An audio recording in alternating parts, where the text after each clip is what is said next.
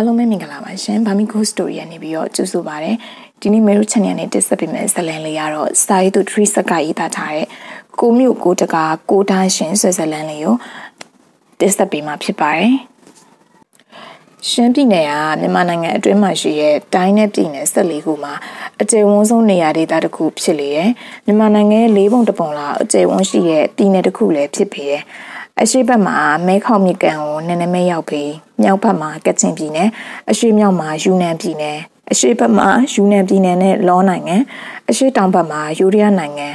တောင်ဘက်မှာကယားပြည်နယ်အနောက်ဘက်မှာမန္တလေးတိုင်းအနောက်မြောက်မှာစကိုင်းတိုင်းတို့နဲ့ထိစပ်နေလေတယ်။ပြည်နယ်နဲ့တိုင်း14ခုမှာပြည်ပနိုင်ငံတို့နဲ့ထိစပ်မှုအများဆုံးသောပြည်နယ်တစ်ခုဖြစ်လေတယ်။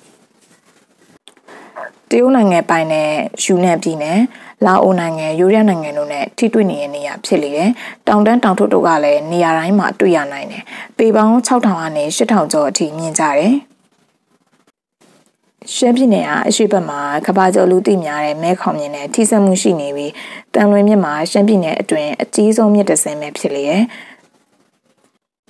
ချိန်ကာလမှာမြန်မာနိုင်ငံလွတ်လပ်ရေးရပြီးစား1950ဝန်းကျင်ရှိလေတယ်။ထိုချိန်ကနီမောင်တို့မိသားစုမှာတန်လွင်မြစ်အရှိတ်ဘက်မှာရှိတဲ့မိုင်းပြင်းနယ်ဘက်မှာနေထိုင်ကြတယ်။နီမောင်တို့မိသားစုထိုနေအောင်လာနေခဲ့ကြတာနှစ်တော်ကြာခဲ့ပြီ။သူတို့မိသားစုမှာ9ယောက်ရှိရဲ့။မိခင်ဖခင်ကဥပရှိန်နဲ့ဒေါ်တင်မီတို့ဖြစ်ပြီးတော့နီမောင်မှာညီတယောက်နဲ့ညီမတယောက်ရှိရဲ့။နီမောင်ကအသက်25နှစ်အရွယ်ရှိပြီးညီဖြစ်သူရှင်မောင်က23နဲ့ညီမဖြစ်သူနှင်းမီက19နှစ်အရွယ်ပဲရှိကြသေးတယ်။မောင်နှမ3ယောက်စလုံးလူပြိုအပြိုဘဝနဲ့ပဲမိဘကိုလှုပ်ကြွနေသူတွေဖြစ်တယ်။ သူတို့နေထိုင်တဲ့ရွာမိုးမခရွာဖြစ်လေ။ထိုဒေသမှာရွာလူကြီးအုပ်ချုပ်တဲ့အင်ဂျီများတဲ့ရွာကြီးတရွာပဲဖြစ်လေ။ရွာလူကြီးကဥခွန်တီဖြစ်တယ်။မိုးမခရွာမှာအင်ဂျီ90ကျော်လောက်ရှိပြီးတော့စီးပွားရေးချောင်းလင်းသူတွေများတယ်။တောင်ရစိုက်ကင်တွေလက်ဖက်စိုက်ကင်ပိတ်စိုက်ကင်လိမ်မော်ကျန်ပတ်တိကျန်တွေလောက်ကန်ကြတယ်။နေမောင်တို့မိသားစုကရွာအစုံဘက်မှာနေထိုင်ပြီးတော့စီးပွားရေးချောင်းလည်ကြတယ်။သူတို့မိသားစုပိုင်နဲ့လိမ်မော်ကျန်နဲ့ပန်းတိကျန်တွေရှိပြီးတော့တော်တော်ကျဲဝန်းတယ်။လှမ်းကြည့်ပါ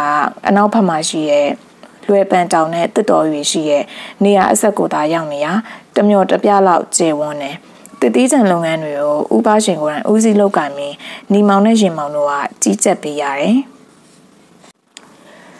တတိချံကအေကတော်တော်ကျပြီးတော့စိုက်ပျိုးထားတဲ့အပင်ကြီးတွေကများတာကြောင့်ရွာရဲအလုတ်သမားခေါ်ယူပြီးတော့အသုံးပြုရတယ်။ထိုထဲမှာစောတိနဲ့ငမေအောင်တို့နှစ်ယောက်လည်းအပောင်ဝင်ဖြစ်ပြီးတော့အသက်အရွယ်က25နှစ်ဝန်းကျင်လောက်ပဲရှိသေးတယ်။ရိုးသားပြီးအလုတ်ကြိုးစားသူတွေဖြစ်တာကြောင့်အလုတ်သမားတွေကိုကြီးကျက်စေခိုင်းရတဲ့အလုတ်တောင်ဝင်ကိုပေးထားတယ်။နှစ်ကြာလာတော့အလုတ်သမားနဲ့မတူတော့ပဲညီမောင်နဲ့ညီကိုတွေလိုပဲခင်မင်လာကြတယ်။သူတို့နှစ်ယောက်အတွက်ခြံထဲမှာပဲအိမ်ဆောက်ပြီးတော့နေရာပေးထားတယ်။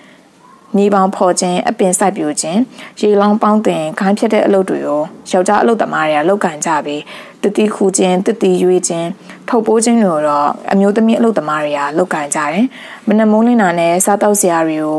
ပလိုင်းတွေနဲ့ထည့်ယူလာပြီးတော့ခြံထဲမှာတနေကုန်နေပြီးညနေဆောင်တော့လှုပ်အားကောင်းငွေယူပြီးတော့အိပ်ပြန်သွားကြတယ်။နီမောက်ခြံထဲမှာစုစုပေါင်းလူ20ရှိတယ်။တနေ့စောထီကပြောတယ်။နီမောင်ငါတို့ခြံတိုးချဲ့ဖို့မင်းဘယ်လိုလုပ်မှာလဲ။ တောင်ဘက်မြောက်ဘက်တွေကိုတိုးချဲ့လို့မရအောင်အဲ့ဒီဘက်မှာဘင်းခင်းတွေရှိရယ်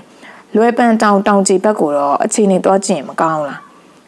ကောင်းပါတယ်တောင်ကျင်းနဲ့နေရနေရာတွေဘက်မှာမြေကွက်တွေလည်းတော်တော်ကျသေးတာပဲဒါပေမဲ့သွားလို့လို့ဖြစ်ပါမလားအဲ့ဒီနေရာဘက်တွေကနှက်ကျန်းတဲ့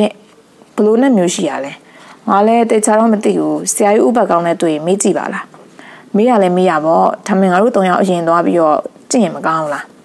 နီမောင်ကပြောတော့နှစ်ယောက်စလုံးကခေါင်းညင်းပြတယ်အိမ်အောင်နေ့လည်းပဲအခြေရောက်တော့ထမင်းစားပြရနဲ့သုံးယောက်သားလွယ်ပန်တောင်ရှိရဘက်ကိုထွက်လာကြတယ်လွယ်ပန်တောင်ကတန်လွင်မြင့်အရှိတ်ဘက်မှာရှိပြီးပေလေးတောင်ကျော်လောက်ပဲမြင့်တဲ့တောင်ကျော်တစ်ခုဖြစ်လေတယ်တောင်တတောင်နဲ့ထီးထီးရှိပြီးတော့မဆောက်တဲ့တောင်မျိုးမဟုတ်ပဲတခြားတောင်ကျော်တွေနဲ့ဆက်ဆက်နေတဲ့တောင်တတောင်ဖြစ်လေတယ်နီမောင်တို့ပိုင်ဆိုင်တဲ့တတိကျန်တွေကထိုနေရာအဆက်ထိရောက်နေလေရာခြံထဲကပဲဖြစ်သွားကြတယ် ခြံထဲမှာတော့အလုပ်သမားတွေကကိုတာဝန်ကြတဲ့နေရာတွေမှာလုပ်နေရင်တချင်းတကြော်ကြော်နဲ့ရှိနေကြတယ်1950ဝန်းကျင်ဖြစ်တာကြောင့်တတော်ရွေကတဘာဝအတိုင်းပဲရှိနေသေးတယ်။ရှမ်းပြည်နယ်ဘက်မှာအေးတက်များတာကြောင့်ကျုံးပင်ပေါ်ပေါက်ပင်မယ်အလဲပိုင်းဒေသဘက်လောက်မများပြီ။ဝါတော်တွေနဲ့အများဆုံးတွေ့ရတဲ့တက်တော်တွေမှာထင်းရှူတော်တွေပဲဖြစ်တယ်။ညီမောင်ကထိုနေရာရောက်တော့တောတောင်အခြေအနေကိုကြည့်ရင်တောင်ကျအထိတက်တော်တွေကထူထပ်စွာပိတ်စီထားတယ်။ ဒီတိုင်းတော့ဝင်လို့မရအောင်တက်ဆိုင်ရာပုံကိုယ်တွေကိုခွင့်တောင်းပြီးမှဝင်တာပိုကောင်းမယ်။သက်ဆိုင်ရာပုံကိုယ်တွေဆိုတာတက်တော်ဌာနလူတွေကိုပြောရလားမဟုတ်ဘူးငမဲအောင်တောဆောင်နဲ့တောင်ဆောင်နဲ့တွေဒီတစ်တော်နဲ့သက်ဆိုင်တဲ့ပုံကိုယ်ကိုခွင့်တောင်းရမယ်နောက်တော့ညီမောင်ကတောအုံမဝင်ခင်လက်အုပ်ချပြီးတော့သက်ဆိုင်ရာပုံကိုယ်ကိုခွင့်တောင်းတော့ကျန်နှစ်ယောက်ကပါသူ့လို့တလို့လိုက်လို့ကြတယ်ငမဲအောင်မင်းဘာရီစုတောင်းတာလဲစောတိကတူတူမိရယ်ငါမပြောတဘူးဒါကြောင့်ညီမောင်ပြောတဲ့အတိုင်းပါပဲလို့လိုက်ပြောနေရ သူစကားကြောင့်စောတိကသဘောကျစွာပြုံးလိုက်တယ်ဆူတောင်းနေစင်မှာတော်ရီယာကြားတကောင်ခုံထွက်လာပြီးသူတို့သုံးယောက်ကိုစောင့်ကြောက်ထိုင်ပြီးကြည်နေရဲ့ရန်လိုဟန်တော့မတွေ့ရခဏကြာတော့နောက်တစ်ကောင်ထပ်ထွက်လာပြီးတော့ထိုနေရာမှာနှစ်ကောင်စုပ်ကစားနေကြတယ်ကျောင်းနှစ်ကောင်ကနေမောင်တို့သုံးယောက်ရက်နေပေမဲ့ခရူးဆက်ခြင်းမျိုးမရှိဘူးအတန်ကြောင်တပ်ပုတ်ဆော့ကစားနေပြီးမှ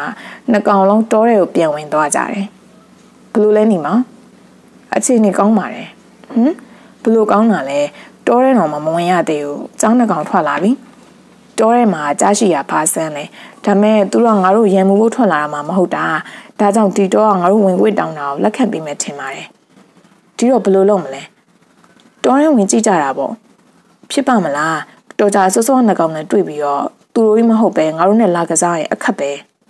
မဟုတ်တာတွေပြောမနေနဲ့မင်းပြောမှတကယ်လာကစားနေလိမ့်မယ်လာတွားရအောင်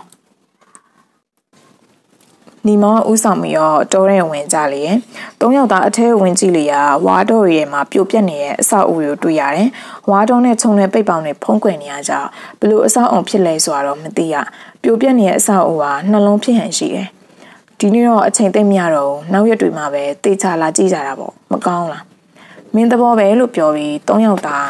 လွယ်ပန်တောင်ရှိရာနေပြန်ခဲ့ကြပြီးတော့တယ်။ ရှေ့ခန်းမှာပြောခဲ့သလိုမုံမခရွာမှာရွာကြီးတရွာဖြစ်သလိုစီးပွားရေးကောင်းသူတွေလည်းများကြတယ်။အများအပြည့်ဘေးဆိုင်ပြိုခြင်းဘေးအရောက်ဝယ်လုပ်သူတွေကပို့ပြီးတော့စီးပွားရေးခြံနေကြတယ်။လွတ်လပ်ရပြီးစားအချင်းဖြစ်တာကြောင့်ရှမ်းပြည်နယ်သားမကပဲတခြားအရက်ဒေသတွေမှာပါစီးပွားရေးနလန်မထူနိုင်သေးပေ။နှစ်ပေါင်း100ကျော်လောက်ဗြိတိရှနဲ့ချက်လက်အောက်မှာနေခဲ့ရတာကြောင့်တနိုင်ငံလုံးစီးပွားရေးပညာရေးနဲ့လူမှုအစဉ်တန်းတို့မှာများစွာနေကြခဲ့ရတယ်။လွတ်လပ်ရပြီးစားမှာလည်းနလန်မထူနိုင်သေးပေ။ မြို့တွေမှာနေသူတွေထက်ကျေးလက်တောရွာတွေမှာနေသူတွေကပိုပြီးတော့ခံရတယ်။မုံမခရွာမှာအင်္ဂလိပ်တွေအုပ်ချုပ်တော့ကဘေးဆိုင်ပြဲလုပ်တွေလောက်ကန်ဝင်ရတာကြောင့်စီးပွားရေးကောင်းခဲ့ကြတယ်။အင်္ဂလိပ်တွေကသူတို့မတော်လှန်ရင်ဘာပဲလုပ်လို့ခွင့်ပြုပေးခဲ့ကြတယ်။အဲ့လိုခွင့်ပြုပေးတာလည်းရည်ရွယ်ချက်ရှိရဲ့။တနိုင်လုံးမှာဘေးဆွဲတဲ့လူဦးရေတိုးပွားလာပါလူဝင်အားချိနဲ့သွားစီဖို့ရည်ရွယ်ချက်ဖြစ်တယ်။လွတ်လပ်ရေးမရခင်အင်္ဂလိပ်လက်အောက်မှာနေရတော့က မုံမခရွာမှာဖိတ်ဆိုင်ခြင်းဘင်းအယောင်ဝဲလုပ်ငန်းတွေလုပ်ကံပြီးတော့စီးပွားရေးချောင်းလင်းသူတွေထဲမှာဦးဆိုင်လီလိုမိသားစုတွေလည်းပါဝင်လေရဲ့အချိန်က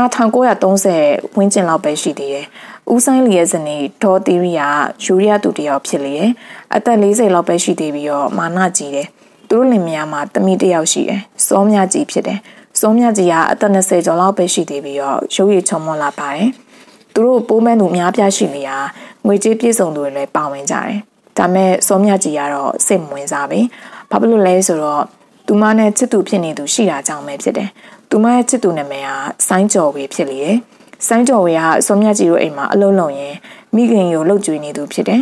ဆိုင်းကျော်ဝေကငွေကြေးချိုးတဲ့ပေမဲ့ရိုးသားပြီးတော့အလုပ်ကျူစားတယ်ရည်ရွယ်ချက်ကြီးရဲ့လူငယ်တစ်ယောက်ဖြစ်တယ်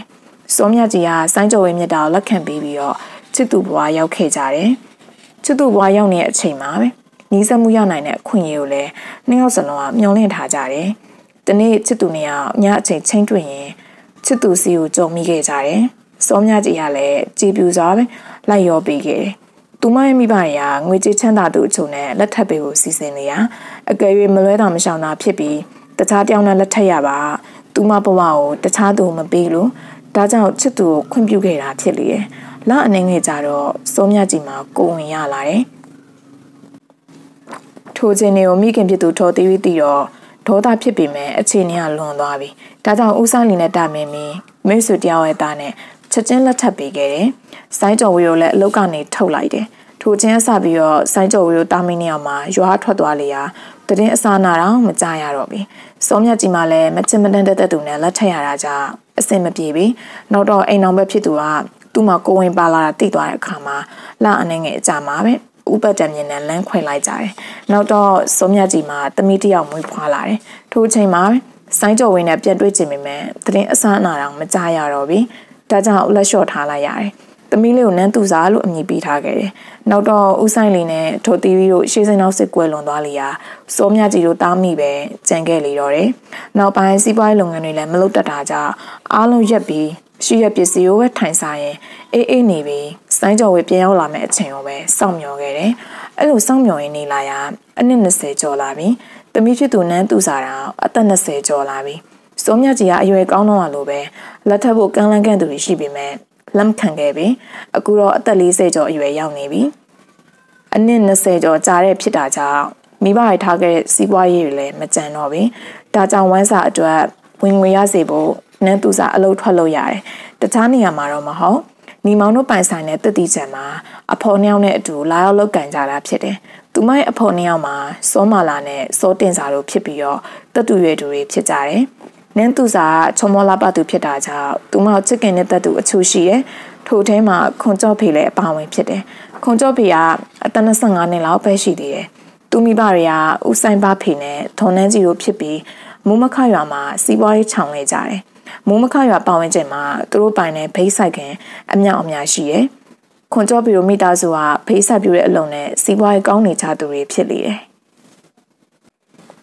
နန်းသူစာတို့၃ယောက်ကရာတီချိန်ရောင်းမှဝင်ငွေရပြီးတော့ရာတီချိန်ကုန်ရင်ဝင်ငွေမမှန်နဲ့ဘိန်းစီးခွာတဲ့အလုံးမလုပ်ကြပဲနဲ့တနစ်ပတ်လို့အလုပ်ရှိပြီးဝင်ငွေမှန်နဲ့တတိဆိုင်ပြတဲ့ခြံမှာပဲတွားရောက်လောက်ကန်ကြတာဖြစ်လေရဲ့ထိုခြံမှာလုံနေရတော့နှစ်တော်တော်ကြပြီဒါကြောင့်ဒီမောင်တို့နဲ့လည်းရင်းနေရဲ့ ခွန်ကျော်ဖေကနန်းသူဆောင်နှစ်သက်နေသူဖြစ်လေရာ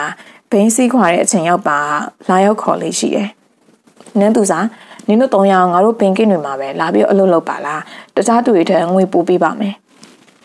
ငါတို့ကတတိချက်မှာဝင်လုံနေရလာလို့မဖြစ်ဘူးတတိချက်မှာလောက်တာဘယ်လောက်ရလို့လဲသူတို့ပေးရချက်ပူပေးပါမယ်ဒီလိုပူပေးလဲလာလို့မဖြစ်ဘူးဘိန်းစည်းခွာတဲ့ရာတီကခဏပဲကြာတာရာတီကုံတော့ဘာလို့ရမှာလဲ စိတ်မပူပါနဲ့နဲ့သူစားရဲ့ဘိန်းစည်းခွာတဲ့ရာတီကုံဝိုင်းရင်လည်းတခြားအလုပ်ပေးထားပါမယ်ဘလို့လဲနန်းသူစားခေါင်းခါပြတယ်နင်ကတိတ်မာနာကြည့်ရပဲငါလိုလူကအောက်ကြခံပြောနေရတော့မှညင်းနေသေးတယ်။နင့်အဖိုးဘွားတွေရှိတော့မှချမ်းသာခဲ့တာမဲ့မိမဲ့အခုအချိန်နေနဲ့တူတော့တာမှမဟုတ်တာ။ဒါသိဖို့တော့လူတာပေါ့။ခွန်ကြော့ဖေနင်ပြောတဲ့စကားအတိတ်ပဲဘာသဘောလဲ။ငါတို့ကအရင်နဲ့မတူတော့ပဲနဲ့ဆင်းရဲသွားလို့သူများပြောရင်လုံမယ်လို့ထင်နေလို့လား။မြို့ငါပြောလိုက်မယ်။ တေချာမှတ်ထား။ငါစိတ်တက်ပြောညင်းတဲ့သူမျိုးမဟုတ်ဘူး။သူများပြောတိုင်းလည်းမလုပ်ဘူး။ဘယ်အလုံးမဆိုတေချာစဉ်းစားပြီးမှလူတင်မှလုပ်တယ်။ငါတောင်းပန်ပါတယ်လို့ပြောပြီးခွန်ကြောပြီလည်းမျက်စိမျက်နှာမကောင်းစွာနဲ့ပြန်သွားလေတော့တယ်။နေမြင့်ချိန်ရောက်တော့အဖေါ်နှစ်ယောက်ဖြစ်တဲ့စောမလာနဲ့စောတင်စာတို့ရောက်လာတယ်။နှစ်ယောက်စလုံးအစာအသောက်ထည့်ထားတဲ့ပလိုင်းတစ်လုံးစီလွှဲလာကြတယ်။သူစားနေအစိတ်သေးဖြစ်သွားကြရအောင်ဒီနေ့တတိရရွေးဖို့အရေးကြီးရဲ့။ နင်းမျက်နှာလည်းတိတ်ပြီးမကောင်းပါလား။ဘာဖြစ်လို့လဲ။ဘာမှဖြစ်ပါဘူး။မဟုတ်ပါဘူး။နင်းကြည့်ရတာတခုခုဖြစ်နေပါတယ်။ငါတို့ပြပြပါ။စောတင်စားပါမိတော့မှခွန်ကျော်ဖေပြောသွားတဲ့စကားတွေကိုပြပြလိုက်တယ်။ခွန်ကျော်ဖေတို့မိသားစုကဘေးဆက်ပြီးတော့စီးပွားရေးကောင်းနေကြတာ။သူတို့ကဆင်းရဲတဲ့သူတွေဆိုရင်သူပြောရင်ရမယ်လို့ထင်နေရ။နေအဲ့လိုပြောလိုက်တာကောင်းတယ်။ तू ကအတင်းလာခေါ်နေမှာပေါ့။နင့်ကိုသဘောကျနေအောင်။ငါတော့လေတဇက်ကလေးမအောင်နှစ်သက်ပါအောင်။ ကောင်းတာပေါ့။ဒီလိုလူမျိုးကတစ္ဆာမရှိဘူး။သူ့စိတ်မှာဘေးစိတ်ခွာတဲ့မင်းကလေးအချို့လဲသူ့ကြောင့်ပြက်စီခဲ့ရတာ။ငါငွေဘလောက်ပေးပေးအဲ့လိုလိုမျိုးစီမှာအလုံးမလုပ်ချင်စင်းရဲနေလူတွေကအထင်သိတတ်ကြတယ်မရတဲ့အနေနဲ့အခွင့်အရေးယူချင်တတ်ကြတယ်ငါကတနေ့ကျရင်စင်းရဲဘွားလွတ်အောင်လုပ်ချင်တာနန်းသူစာကပြောလိုက်တယ်နင့်တဘောငါတို့သိပါတယ် နေရာရုပ်ချော်သလားစိတ်တက်လဲမာကြောတယ်တနေ့ကျရင်အင်းဖြစ်ချင်တာဖြစ်လာမှာပါအခုတော့အလုံးနောက်ကျနေလိမ့်မယ်သွားရအောင်အဲ့လိုနှစ်သိကြတယ်အိမ်အောင်နန်းသူစာမိခင်ကိုနှုတ်ဆက်ပြီးတော့၃ယောက်သားတက်သီးချန်ရှိအောင်ထွက်လာခဲ့ကြတယ်။မနက်ကင်းထွက်ပေါ်လာတဲ့နေအောင်ကြီးကနေမုံနေပွဲတွေကာစီးထားတဲ့ကြားနဲ့ထိုးဖောက်ပြီးတော့မြေပြင်ကိုဖျားစင်းစားပြူလာပြီးအခက်ခဲကိုတရက်ထဲနဲ့မကြော်နိုင်တော့မှကြော်ဖြတ်နိုင်ရမယ်ဆိုရည်ရွယ်ချက်မျိုးကတော့ရှိတင်လာလေတယ်။ လီမောင်တို့ပိုင်ဆိုင်တဲ့တတိချံမှာပန်းသီးနဲ့လိမ္မော်ပြီးတင်တွေပဲအဓိကဆက်ပြူထားတယ်။ကျေဝန်းလာတဲ့တတိချံမှာမြေအကတော်တော်လေးကိုကျဲတယ်။လွယ်ပန်တောင်ကြီးအထိရောက်တာကြောင့်တနေရာတနေရာလမ်းမမြင်ရပဲခြံထဲမှာလိမ္မော်ပင်တွေကတစ်ချမ်းပန်းသီးပင်တွေကတစ်ချမ်းခွဲပြီးတော့စိုက်ပြိုတယ် ခြံထဲမှာပန်းသီးအလုံးကြီးအလုံးသေးနှမျိုးရှိလေဟာနှမျိုးစလုံးစိုက်ပြူထားတယ်။ပန်းသီးအလုံးကြီးရဲ့အပင်ဟာအလုံးအရေအတွက်ထွက်တာနည်းပေမဲ့စီးကောင်းရတယ်။စီးပူရတယ်။ပန်းသီးအလုံးသေးဟာအလုံးအရေအတွက်များစွာတည်ရဲ့။စီးရတော့တိတ်မရပြီ။နိုင်ငံခြားထွက်တဲ့ပန်းသီးအရေအတွက်မမိပေမဲ့အေးတက်များတဲ့ချင်းတောင်နဲ့ရှမ်းပြည်နယ်ကချင်ပြည်နယ်ဘက်ကထွက်တဲ့ပန်းသီးတွေကအရေးအသွေးကောင်းတာကြောင့်လူကြိုက်များတယ်။လီမောင်တို့ပိုင်ဆိုင်တဲ့ channel မှာစောတီနဲ့ငမဲအောင်တို့အပါဝင် တစ်ပင်ဆက်ပြိုးသူကိုင်းကူကိုင်းဆက်ကျွမ်းကျင်သူတွေရှိကြတယ်။ရေလောင်းပေါင်းတင်အမိုက်ရှင်းတဲ့အလုပ်သမားတွေလည်းတက်တက်ရှိတယ်။တောင်ကျဘက်ကစီးလာတဲ့ရေကိုတွေ့ယူပြီးရေလောင်းတယ်။ပန်းသီးနဲ့လိမ်မော်တီမှာနွေရာသီစောင်းရာသီတွေမှာအထွက်များတယ်။အတီးခုတဲ့အချိန်ရောက်ပါယောက်ျားမိန်းကလေးတွေပါတပြိုင်နက်တည်းခုဆွကြတယ်။ပလိုင်းတွေလွဲပြီးအတန်းလိုက်အပြုတ်လိုက်တီးနေတဲ့ပန်းသီးလိမ်မော်တီကိုခုဆွရတာ။တော်တော်ပြောစရာကောင်းတယ်။မိန်းကလေးတွေကလက်လန်းမီရဲ့နေရာကနေအသီးတွေကိုခုဆွကြတယ်။ ယောက်ျားလေးတွေကလေကားထောင်ပြီးတော့ထိပ်ပိုင်းမှာရှိတဲ့အသီးတွေကိုတက်ခူကြတယ်။တတိခွင်းနဲ့စကားပြောလိုက်တချင်းဆိုလိုက်တယောက်နဲ့တယောက်နောက်ပြောင်ရဲ့အလုပ်လုပ်ရတာပြောစရာကောင်းလာတယ်။ ခုစွတ်ပြီးတော့ပန်းသီးစုရရအောင်တည်ယူလာပြီးအခါမှာအမျိုးသမီးတွေကအလုံးအရွယ်အစားလိုက်ခွဲပေးရတယ်။ပြီးမှပုံးတွေနဲ့ထည့်ပြီးပွဲရုံတွေအရောက်ပို့ပေးရတယ်။ယူရန်နိုင်ငံပကူတော်၎င်း၊ကျိုင်းတုံတော်၎င်း၊မန္တလေးမြို့စတဲ့မြို့တွေမှာရှိတဲ့ပွဲရုံတွေထိပို့ပေးရတယ်။အလုပ်ကိစ္စနဲ့ကျိုင်းတုံမန္တလေးနဲ့ယူရန်နိုင်ငံအဆက်ရောက်တဲ့အထိတွာလာရတယ်။အဲ့လိုတွာလာတဲ့အလုပ်ကိုညီမောင်ကအထိုင်ခံလုပ်တယ်။နန်းသူစာစောမာလာစောတင်စာတို့ရောက်လာတော့ညီမောင်နဲ့တွေ့တယ်။ နန်းသူစာအလုပ်လုပ်ရတာအဆင်ပြေရဲ့လားနန်းသူစာကျင်းနဲ့စွာပြုံးပြီးခေါင်းညှိပြတယ်အမေရောနေကောင်းရဲ့လားဒီရက်ထဲမှာတော့အမေကျမကြီးကတိတ်မကောင်းအေးအေးငါဆရာဥပန်ကောင်ခေါ်ပြီးတော့တစ်ခေါက်လာကြည့်ပေးပါမယ်ကျေးဇူးတင်ပါတယ်အကိုလို့ပြောဆိုနေရအောင်ဘေးမှာရှိနေတဲ့စောတင်စာနဲ့စောမလာတော့ကကြည့်ပြီးတော့တမျိုးသဘောပေါက်သွားဟန်နဲ့မတိမတာပြုံးလိုက်ကြတယ်အဲ့နောက်၃ယောက်သာအလုပ်ရှိရဘက်ကိုရှောက်လာကြတယ်တနေရာရောက်တော့မှညီမကနေတော်တော်အေးပေးရနော် အကိုကသဘောမနှောကောင်းတဲ့သူပဲဘသူ့မဆိုဒီလိုပဲပြောဆိုဆက်ဆံတာပါပဲတမျိုးမထင်ပါနဲ့ငါတို့လည်းချစ်သူမရှိသေးတော့ဒီအကြောင်းကိုတေချာမသိပါဘူးဒါပေမဲ့ तू ကနင့်ကိုစိတ်ဝင်စားပေါ်တော့ရတယ်နန်းသူစာကဘာမှမပြောဘူးထိုကအစောတင်စာကဒီလိုချင်းနေဆိုကောင်းတာပေါ့ကိုနေမောင်လို့သဘောကောင်းပြီးတော့ရိုးသားတဲ့သူမျိုးနဲ့လက်တွေ့ခွင့်ရရင်ကံကောင်းတာပေါ့ ထို့နောက်မှာတော့အလုတ်ခွင်ဝင်ပြီးမိမိတို့တာဝန်ကျအလုပ်တွေကိုလုပ်ကန်ကြလေတယ်တကယ်တော့စောတင်စာနဲ့စောမလာတို့နေအောင်မှာလဲစိတ်ဝင်စားသူတို့ရှိကြတယ်စောတင်စာကိုစောတိရသဘောကျနေပြီးငမင်းအောင်ဟာစောမလာကိုစိတ်ဝင်စားမှုရှိတယ်ဒါပေမဲ့ပွပွလင်းလင်းပြောတဲ့အဆင့်မျိုးတော့မရောက်ကြသေးဘူးတနေ့စောတိရစောတင်စာကိုမေးတယ်စောတင်စာနင့်မှာချစ်သူရှိလားမရှိပါဘူးဘာလို့မေးရလဲချစ်သူမရှိသေးရင်အဆင်ပြေတဲ့နေ့မှာငါနင့်ကိုစိတ်ဝင်စားတဲ့အကြောင်းပြောချင်လို့ပါ အခုပြောနေရမလားလူပြိုစကားပြောရများပုတ်ပွလင်းလင်းမရှိပဲနဲ့ဝေးလက်ချောင်ဘက်ပြောနေအာနာလိုပါအာနာနေရင်ပြောပဲနေပါလားမပြောပဲနေရင်နေမသိမှဆိုလိုပါအခုလိုသိသွားတော့ပိုကောင်းတာပေါ့နင်ငါမြစ်တာကိုစဉ်းစားပေးပါအခုမှပြောတာဆိုတော့တေချာစဉ်းစားရအောင်မယ်ဒါကြောင့်စောတီယာသူ့ဘက်ကပြောချက်ရှိရာပြောပြရကြနောက်ထပ်ဘာမှမပြောတော့ဘူး စောတရစောတင်စာကိုလူပြူစကားပြောပြရအောင်တည်တဲ့အခါမှာငမင်းအောင်ကလည်းအရေးစွန်ပြီးတော့စောမလာကိုသူ့တဘောပြောပြတယ်နင်းအောင်ကမြစ်တာရှိနေကြပါပြီအဲ့ဒါစဉ်းစားပြီးပါငါတို့တငယ်ချင်းတော့ယောက်ကဘာပဲလုပ်လို့သူတို့နဲ့တိုင်ပင်ပြီးမှလုပ်တာဆိုတော့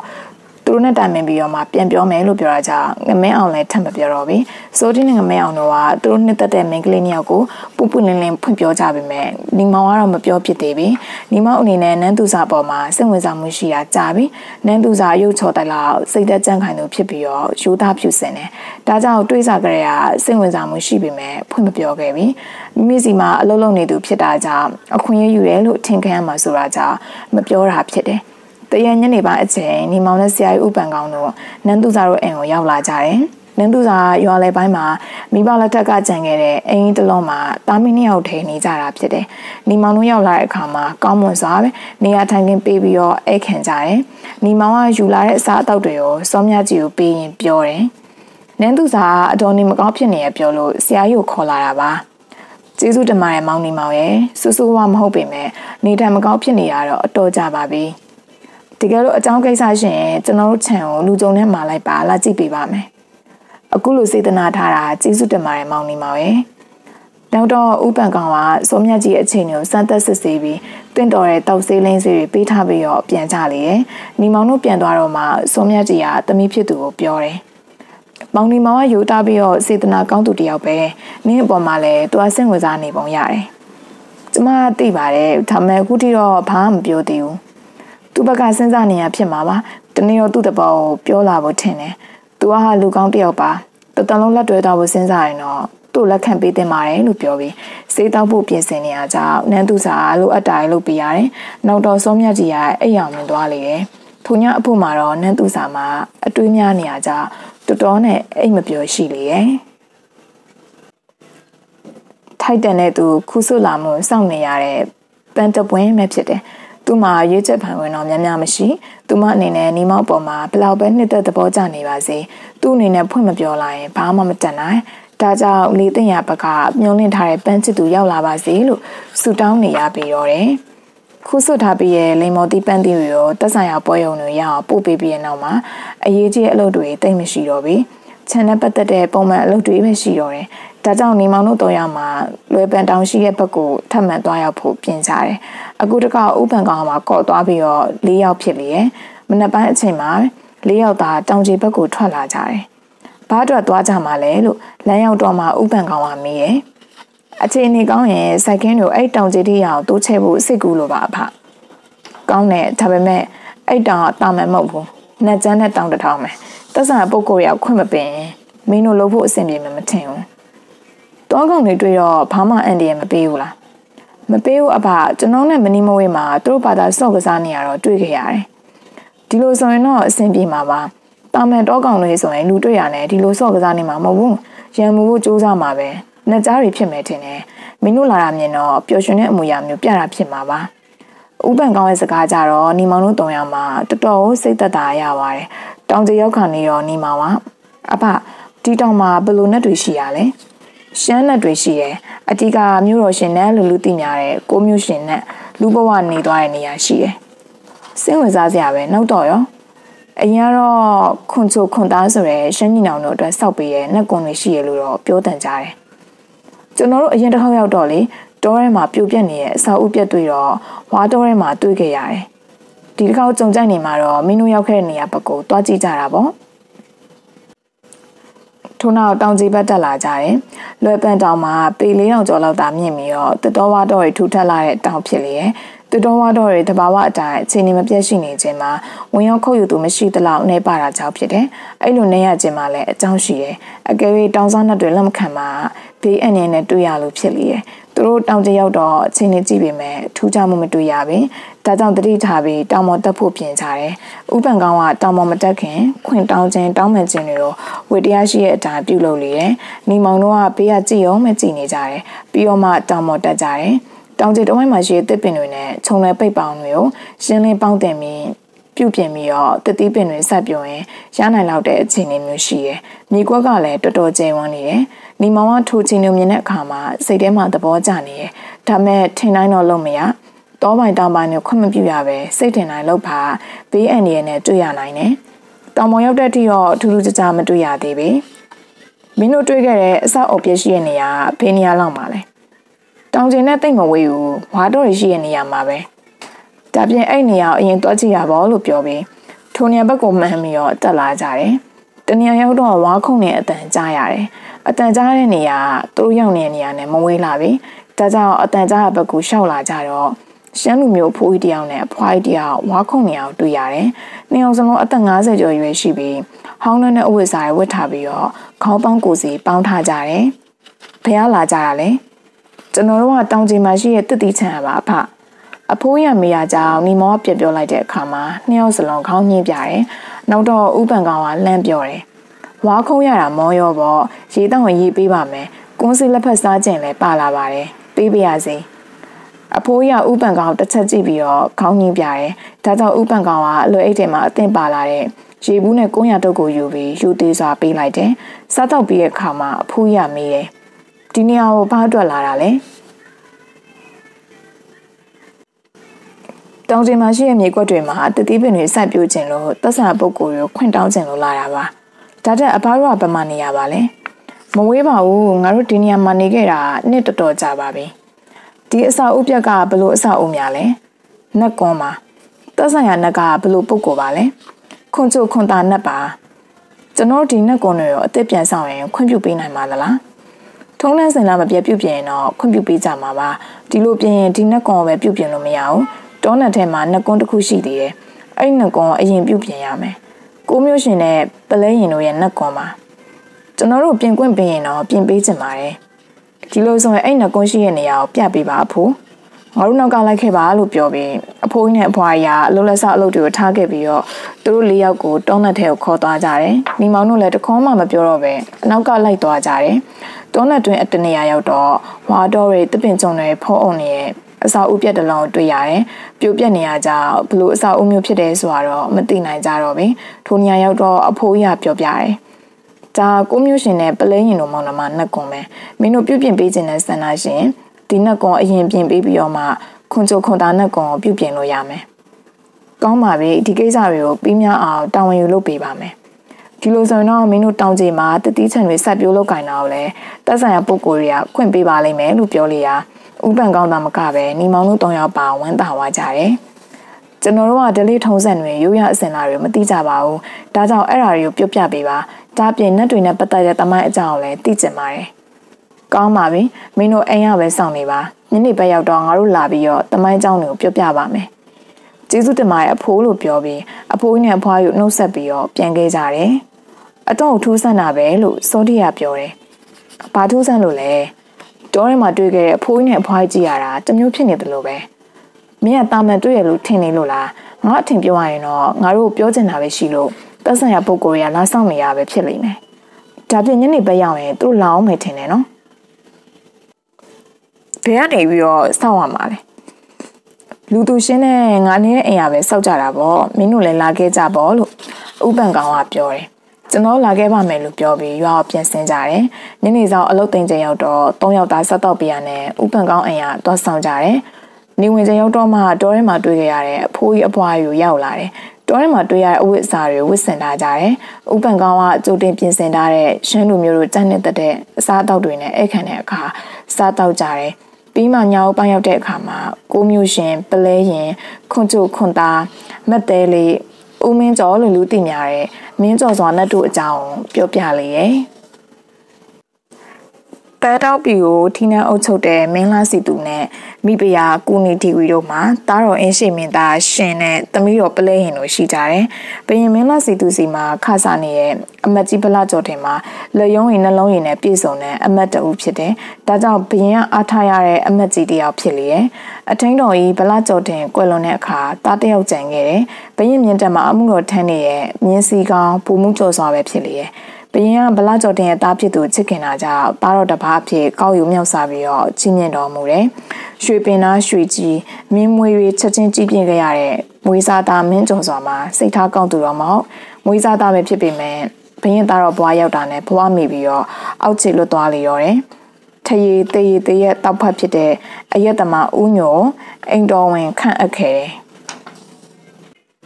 ငယ်ကျွင်းဖြစ်လာတဲ့ဥညွန်မှာလူကောင်းတယောက်တော့မဟုတ်ပေအယက်သမားဖြစ်ပြီးတော့နန်းတွင်းမှာမိမပွေရှုပ်တဲ့သူဖြစ်တာကြောင့်မင်းကြော်စွာနဲ့ဇယိုက်တူချင်းဖြစ်လေရဲ့ဘရင်သားတော့ဖြစ်လာတဲ့နောက်ပိုင်းမှာအတော့အစားလောင်ကစားမိမတွေနဲ့ပဲနှစ်ယောက်သားအချင်းကုန်ပြီးတော့တယ်ထန်းတော်ကြက်ဝိုင်းနဲ့စောက်ကြမြိုင်တို့မှာပဲရှိနေတတ်ကြတယ်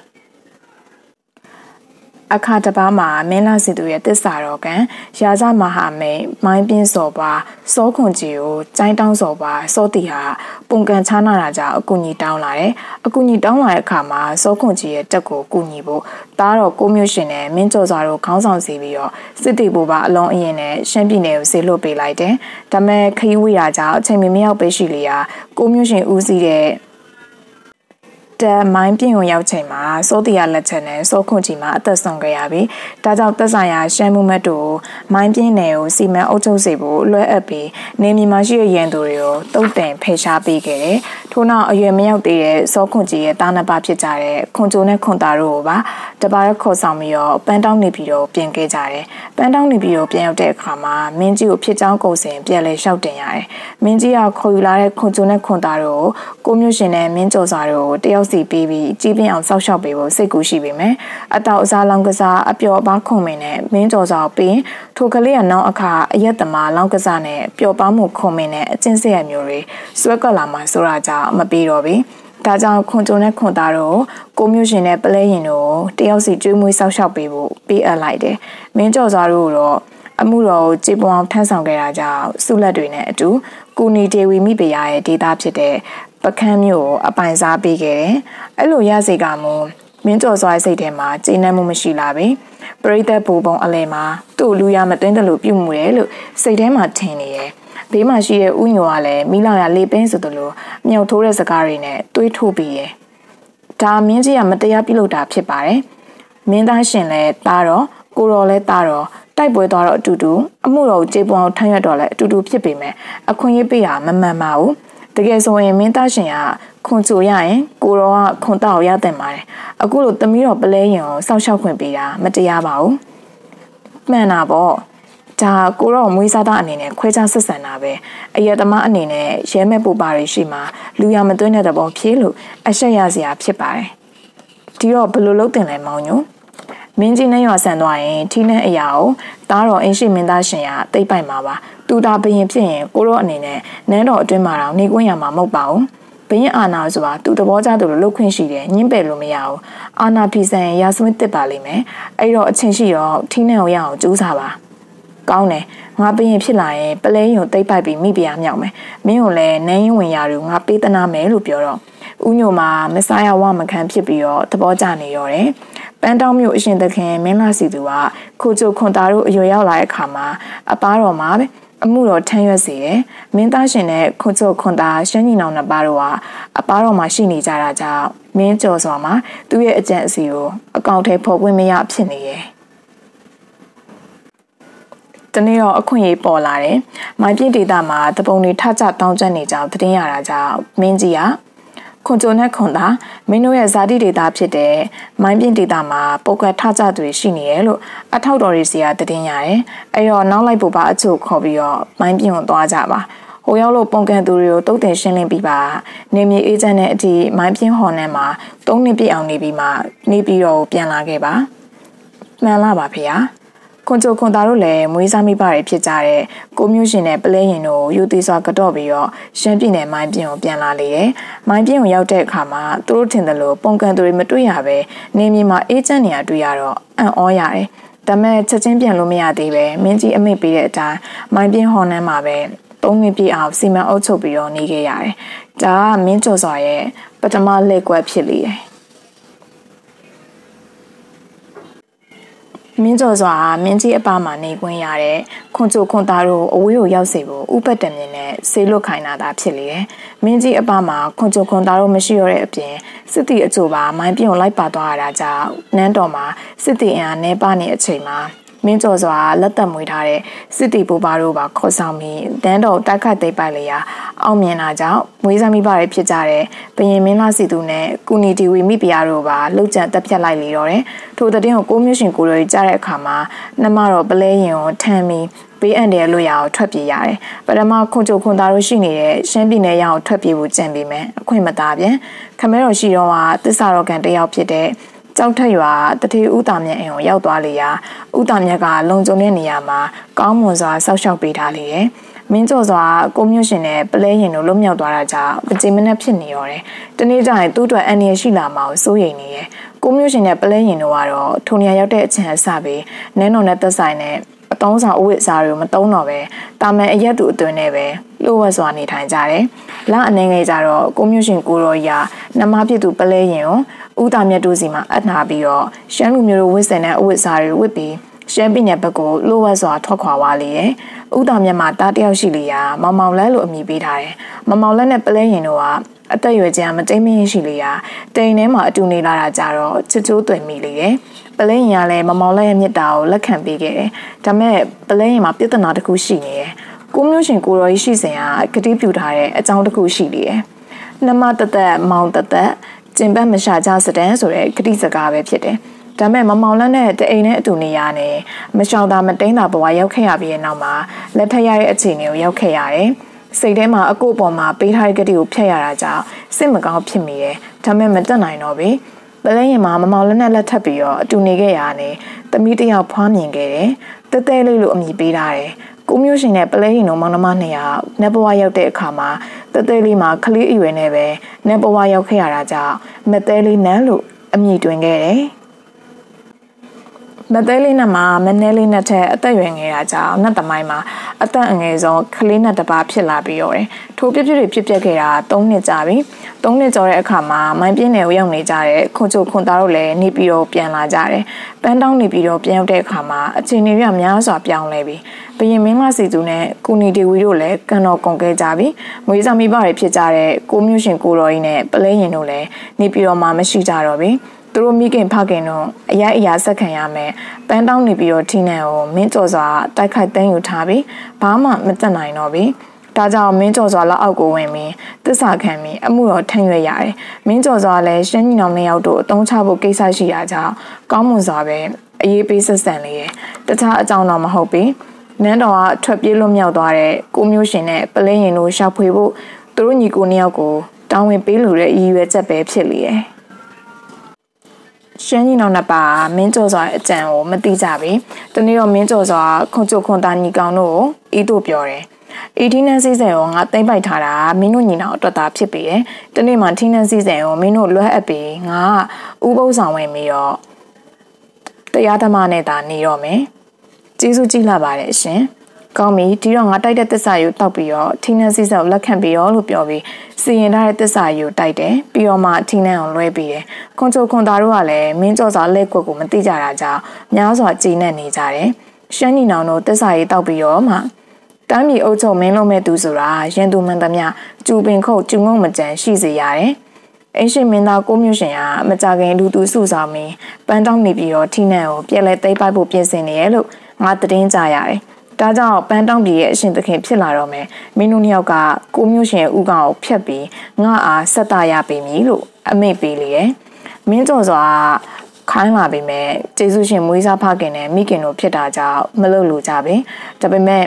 မင်းကျော်စွာတိုက်တဲ့သစ္စာကိုတောက်ခဲ့ပြီးရတဲ့ကြောင့်နီးရတာကိုကြောက်ရတာတကြောင်ကြောင့်ဆက်တာပါမည်လို့ပြောဆိုပြီးကိုမျိုးရှင်ကိုတော်ကြီးရှိနိုင်တဲ့နေရာကိုစုံစမ်းပြီးတော့ရှာဖွေလေတော့တယ်လအနေငယ်အကြမှာ မိုင်းပြင်းတဲ့တနေရာမှာပုံအောင်နေတဲ့ကိုမျိုးရှင်ကိုတော်ယူတွေ့ရအခါမှာလိုင်းကိစ္စကိုပြောပြရလေရဲ့ခွန်ချိုခွန်သားတို့ကမွေးစားဖခင်ကျေးဇူးရှင်ဖြစ်တာကြောင့်ဥကောင်းဖျက်ရမယ့်ကိစ္စကိုမလုပ်လို့ကြပြီထို့ကကိုမျိုးရှင်ကိုတော်ကြီးကတီးတွတ်တော့ဖြင့်ဒါတို့ဘာမှစိတ်ပူမှုမရှိကြနဲ့ခမဲတော်ကိုယ်တိုင်ဥကောင်းကိုဖျက်ပြီးတော့ပေးပါမယ်လို့ပြောပြီးလက်သုံးတော်ထားနဲ့မိမိလေကုတ်ပေါ်တင်ပြီးတော့အတိတ်ထံပြူတဲ့အခါမှာဥကောင်းကအလိုလိုပြက်ကျသွားလေတော့တယ် ခွန်ချိုခွန်သားတို့လည်းဖခင်ဖြစ်သူထိုနေရာမှာပဲကောင်းမွန်စွာတကြူကြလေတယ်ပြီးမှဥကောင်ကိုရွှေပွားနဲ့ထုတ်ယူပြီးပန်းတောင်းနေပြီးတော့ပြန်ခဲ့ကြတယ်။နန်းတော်ပြန်ရောက်ပြီးဥကောင်ဆက်တာပေးရနဲ့ရဲမက်တွေကခွန်ချိုခွန်သားတို့ဖမ်းပြီးလက်ပြန်ကျုပ်တုပ်လိုက်ကြတယ်။အဲဒီတော့မှမင်းကျော်စွာဥပတ်တံမြင်နဲ့အကောက်ကြံကြောင်းသိရပေမဲ့အချိန်နှောင်းသွားခဲ့ပြီ။နောက်တော့ခွန်ချိုခွန်သားတို့အရှင်လက်လက်မီးရှို့တက်ဖြတ်ပြီးတည်လျာနတ်ဘဝကိုရောက်လေရဲ့။ နှက်ဖြစ်ပြီးရဲ့နောက်မင်းကျော်စွာကိုဂလစားချီရဲ့အနေနဲ့နှစ်ကြားနဲ့တိုက်သက်ပြီးသေးလေရာနှက်ဘွားရောက်ခဲ့လေရာမင်းကျော်စွာနဲ့ဦးမင်းကျော်နဲ့ဆွေနေမယ်နဲ့နကရာပွဲတွေမှာပူဇော်ကပြကြတာကိုတွေ့နိုင်တယ်။မင်းကျော်စွာမှာနှက်ဘွားရောက်တဲ့အခါမှာလူဘဝအပိုင်စားရခဲ့တဲ့ပကန်းဒေတာမှာနှကွန်းဆောက်လုပ်ပြီးနေထိုင်ဆံမျက်နှာကြောင့်ပကန်းကိုကြီးကျော်ပကန်းဦးမင်းကျော်နဲ့လို့လူသိများခဲ့ပြီးရဲ့လူဘဝမှာကလေးကထရေအရက်တီစာကြက်ကြော်ယူကြိုက်ပြီး စက်တိုက်တာဝါသနာပါလျာနတ်ဘွားရောက်တော့လဲထိုအရာတွေကိုဌာနပြုကြတယ်ခွန်ချုံခွန်သားတို့လည်းနတ်ဘွားရောက်ပြီးရနဲ့သူတို့တက်ဖြတ်ခဲ့တဲ့မင်းကျော်ဆောင်နှစ်ကြားနဲ့တိုက်တက်ပြီးရဲ့နောက်မွေးရဇာတိဖြစ်တဲ့ရှမ်းပြည်နယ်အရှိပိုင်းမိုင်းပြင်းဒေသကိုပြန်ကြလေရဲ့ထိုဒေသရောက်တော့ဟော်နန်းမှာရှိတဲ့မူးမတ်တွေကိုကိုထင်ပြပြီးနှက်ကုန်းဆောက်လုပ်ပေးဖို့ပြောတယ်မူးမတ်တို့မှလည်းသူတို့အရှင်သခင်စောခွန်ကြီးရဲ့တားတော်တွေဖြစ်တာကြောင့်လွယ်ပန်တောင်ပေါ်မှာ နှကုန်းဆောက်လုပ်ပေးပြီးကောင်းမွန်စွာပူဇော်ပါတာကြတယ်။ရှမ်းနဲ့နှစ်ပါးဖြစ်ကြတဲ့ခွန်ချိုခွန်သားနှစ်ပါးကိုဒေသခံတွေကကိုရိုကြီးကိုရိုလေးလို့ချစ်စနိုးခေါ်ပြီးတော့နှစ်စဉ်ရိုးရအစင်မှမပြတ်လူရန်ပတ်တာမှုတွေပြုလုပ်ကြတယ်။ကိုမျိုးရှင်ကိုရိုကြီးကအသက်သေဆုံးခဲ့ပြီးနှစ်ပွားရောက်တဲ့အခါ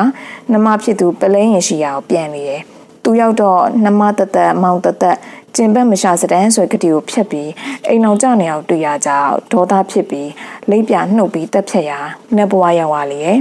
ပလဲရင်ကလည်းသူ့အသက်ဆုံးပြီးနတ်ဘဝရောက်တဲ့အခါမှာသမီးလေးကိုမခွဲနိုင်တာကြောင့်လိပ်ပြနှုတ်ပြီးခေါ်ယူပြန်လေရာတေဆုံးပြီးနတ်ဘဝကိုရောက်သွားပြန်တယ်လူဘုံမှာရှိစဉ်ကတသေးလေးလို့ခေါ်လေရာနတ်ဘဝရောက်တဲ့အခါမှာမက်သေးလေးနဲ့လို့ခေါ်ဝေါ်ကြတယ်နတ်သမိုင်းတွေမှာမနဲလေးနက်ကအသက်အငယ်ဆုံးရှိလျာမက်သေးလေးနက်ဖြစ်တဲ့အခါမှာသူက အသက်အငယ်ဆုံးနတ်စရင်ဝင်ဖြစ်လာလေရောတယ်ကိုမျိုးရှင်ကိုရိုကြီးမှာအင်ရှိစာမင်းသားဘွားနဲ့နေစဉ်ကလေးက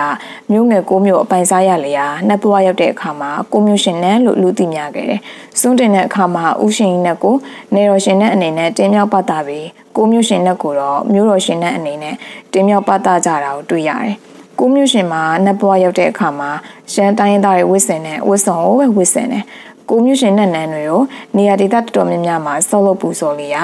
လွယ်ပန်တောင်မှာရှိတဲ့နှက်ကွန်လဲတခုအပါဝင်ဖြစ်တယ်။ရှမ်းတိုင်းသားတွေကကိုမျိုးကိုတကကိုတားပိုင်နဲ့နှက်ဖြစ်တာကြောင့်နန်းနန်းမှာဓာကိုလက်ပြုတ်လုပ်ပြီးတော့ပူဇော်ပသထားကြတယ်။နှက်သမိုင်းကိုရေးသားရမှာရှေ့မှာအကျိုးတင်ပြပြထားသလိုမူကွဲအမျိုးမျိုးရှိကြတာကြောင့်မိမိနှစ်သက်သဘောကျတဲ့အကြောင်းအရာကိုပဲလက်ခံပေးနိုင်ပါတယ်။အထက်ပါအကြောင်းတွေမှာမင်းကျော်စွာလို့ခေါ်တဲ့ဦးမင်းကျော်နဲ့ကိုမျိုးရှင် ပလဲရင်မတဲလေးခွန်ချိုခွန်သားစတဲ့နှက်တွေနဲ့ပတ်သက်တဲ့သမိုင်းမတန်တွေသာဖြစ်ပြီးရောတယ်။ဒီနေ့မနက်ပိုင်းအချိန်မှာပဲမိုးမခရွာလည်းအတိုင်းဂျကားတစ်စင်မောင်းဝင်လာတယ်။ကားပေါ်မှာအသက်20ကျော်လူရွယ်တယောက်ကဂျကားအောင်မောင်းလာပြီးသူ့ဘေးမှာအသက်40ကျော်အရွယ်ရှိရဲ့လူတယောက်ကထိုင်လိုက်လာတယ်။သူတို့ဂျကားကိုတပြေးပြေးမောင်းလာရတဲ့နန်းသူစာတို့တားမိနေရဲ့အင်းရှိရောက်တဲ့အခါမှာရက်တန်သွားတယ်။ထိုးနောက်နှစ်ယောက်စလုံးကားပေါ်ဆင်းပြီးတော့ခြံထဲဝင်လာတယ်။ ခြံထဲဝင်လာသူမြင်တော့စောမြကြီးမှာများစွာအံ့ဩသွားတယ်။စိုင်းစိုင်းကြော်ဝေးမဟုတ်လား။ဟုတ်ပါတယ်မတွေ့ရတာအနည်း20ကျော်ကြာပြီးမှပြန်တွေ့ရတာငါ့ကိုမမိနေသေးတယ်ဆိုတော့ဝမ်းသာရမှာပဲကျမရှင်ကိုမမေ့ပါဘူးစိုင်းကျော်ဝေးဆိုသူမှတခြားမဟုတ်လွန်ခဲ့တဲ့နှစ်ပေါင်း20ကျော်လောက်ကစောမြတ်ကြီးရဲ့အချစ်ဦးပဲဖြစ်လေမိဘရခွဲလို့ကွဲကြရတဲ့ချစ်သူလည်းဖြစ်လေ ရှင်အခုဘယ်ရောက်နေရလဲဗမာနေရလဲငါကျိုင်းတုံပြန်ရောက်နေရတော်တော်ကြာသွားပြီမိမိဘတွေကငါ့ကိုနှင်ထုတ်လိုက်တော့ငါမိုးကုံတဲ့ဘက်ကိုထွက်သွားပြီးတော့ဟိုမှာအလုပ်လုပ်နေရနောက်တော့ဟိုမှာအိမ်အောင်ကြပြီးတော့တားတယောက်ရပြီးမှမိမတည်သွားခဲ့တာဒါငါရဲ့သားပဲနာမည်ကစိုင်းမြကျော်တဲ့နောက်တော့မိုးကုံမှာကြောက်လုပ်ငန်းတွေအဆင်ပြေလာနဲ့စီးပွားရေးပြည့်စုံလာတယ်အခုတော့ကျိုင်းတုံပြန်ပြောင်းပြီးတော့အေးအေးပဲနေတော့မယ်ငါအကြောင်းကတော့ပြောပြီးပြီမင်းအကြောင်းလည်းပြောပါအောင် ထိုကစောမြတ်ကြီးကသူမဘွားအကြောင်းအရာတွေကိုပြန်ပြောပြလိုက်တယ်မင်းရဲ့အကြောင်းကြားတာငါစိတ်မကောင်းပါဘူးဒါတငါသမီးကဘာမှလဲဒါရှင့်သမီးပဲနန်းသူစားလို့နာမည်ပေးထားတယ်။အော်ငါသမီးအောင်ဒီရွယ်ရောက်နေမှာ哦ငါမင်းကိုတောင်းပန်ပါတယ်စောမြကြီးမင်းရဲ့ဘဝအခြေအနေကိုတစ်ခေါက်တလေမှပြင်မကြည့်မိခဲ့တာငါတကယ်ပဲစိတ်မကောင်းပါဘူး။ကံတရားပေါ့ရှင်။ထိုခါအနားမှာထိုင်နေတဲ့နန်းသူစားအမေ तू ကဘာတူလဲ လို့တူတူကတ်မိရဲ့။ तू ကသမီးရဲ့ဖခင်မှာပဲကွယ်။ရှင်အဖေအဖေကသမီးရဲ့ဖခင်မှာကွယ်ငါသမီးလေးဒီရွယ်အထိတခါမှလာမကြည့်ဖြစ်တဲ့အတွက်အဖေကိုခွင့်လို့ပေးပါငါအခုဒီကိုလာတာတခြားမဟုတ်ဘူးမင်းတို့သားမင်းနဲ့အတူပြန်နေဖို့တို့ကလာခေါ်တာပါကျိုင်းတော်မှာငါတို့သားဖနဲ့အလုပ်သမားတွေရှိတယ်မင်းတို့သားမေကိုစိတ်ချမ်းသာကိုချမ်းသာဘဝမျိုးနဲ့ထားပါမယ် ကျမသမီးလေးနဲ့တာမင်မြရစေတညတော့စောင့်ပေးပါလို့ခွင့်တောင်းတာကိုစမ်းကြုံဝေရလဲသဘောတူတာကြောင့်ကျိုင်းတော့ပြန်သွားကြတယ်ထိုခါမှတာမင်နေအောင်မနက်စစာထိုင်ပြီးတိုင်ပင်ကြတယ်သမီးသဘောကဘယ်လိုရှိလဲအမေသဘောအရင်ပြောပါလားအမေသဘောပြောရရင်တော့တမျိုးကိုဖခင်နဲ့အတူတူပြန်နေစီချင်တာပဲ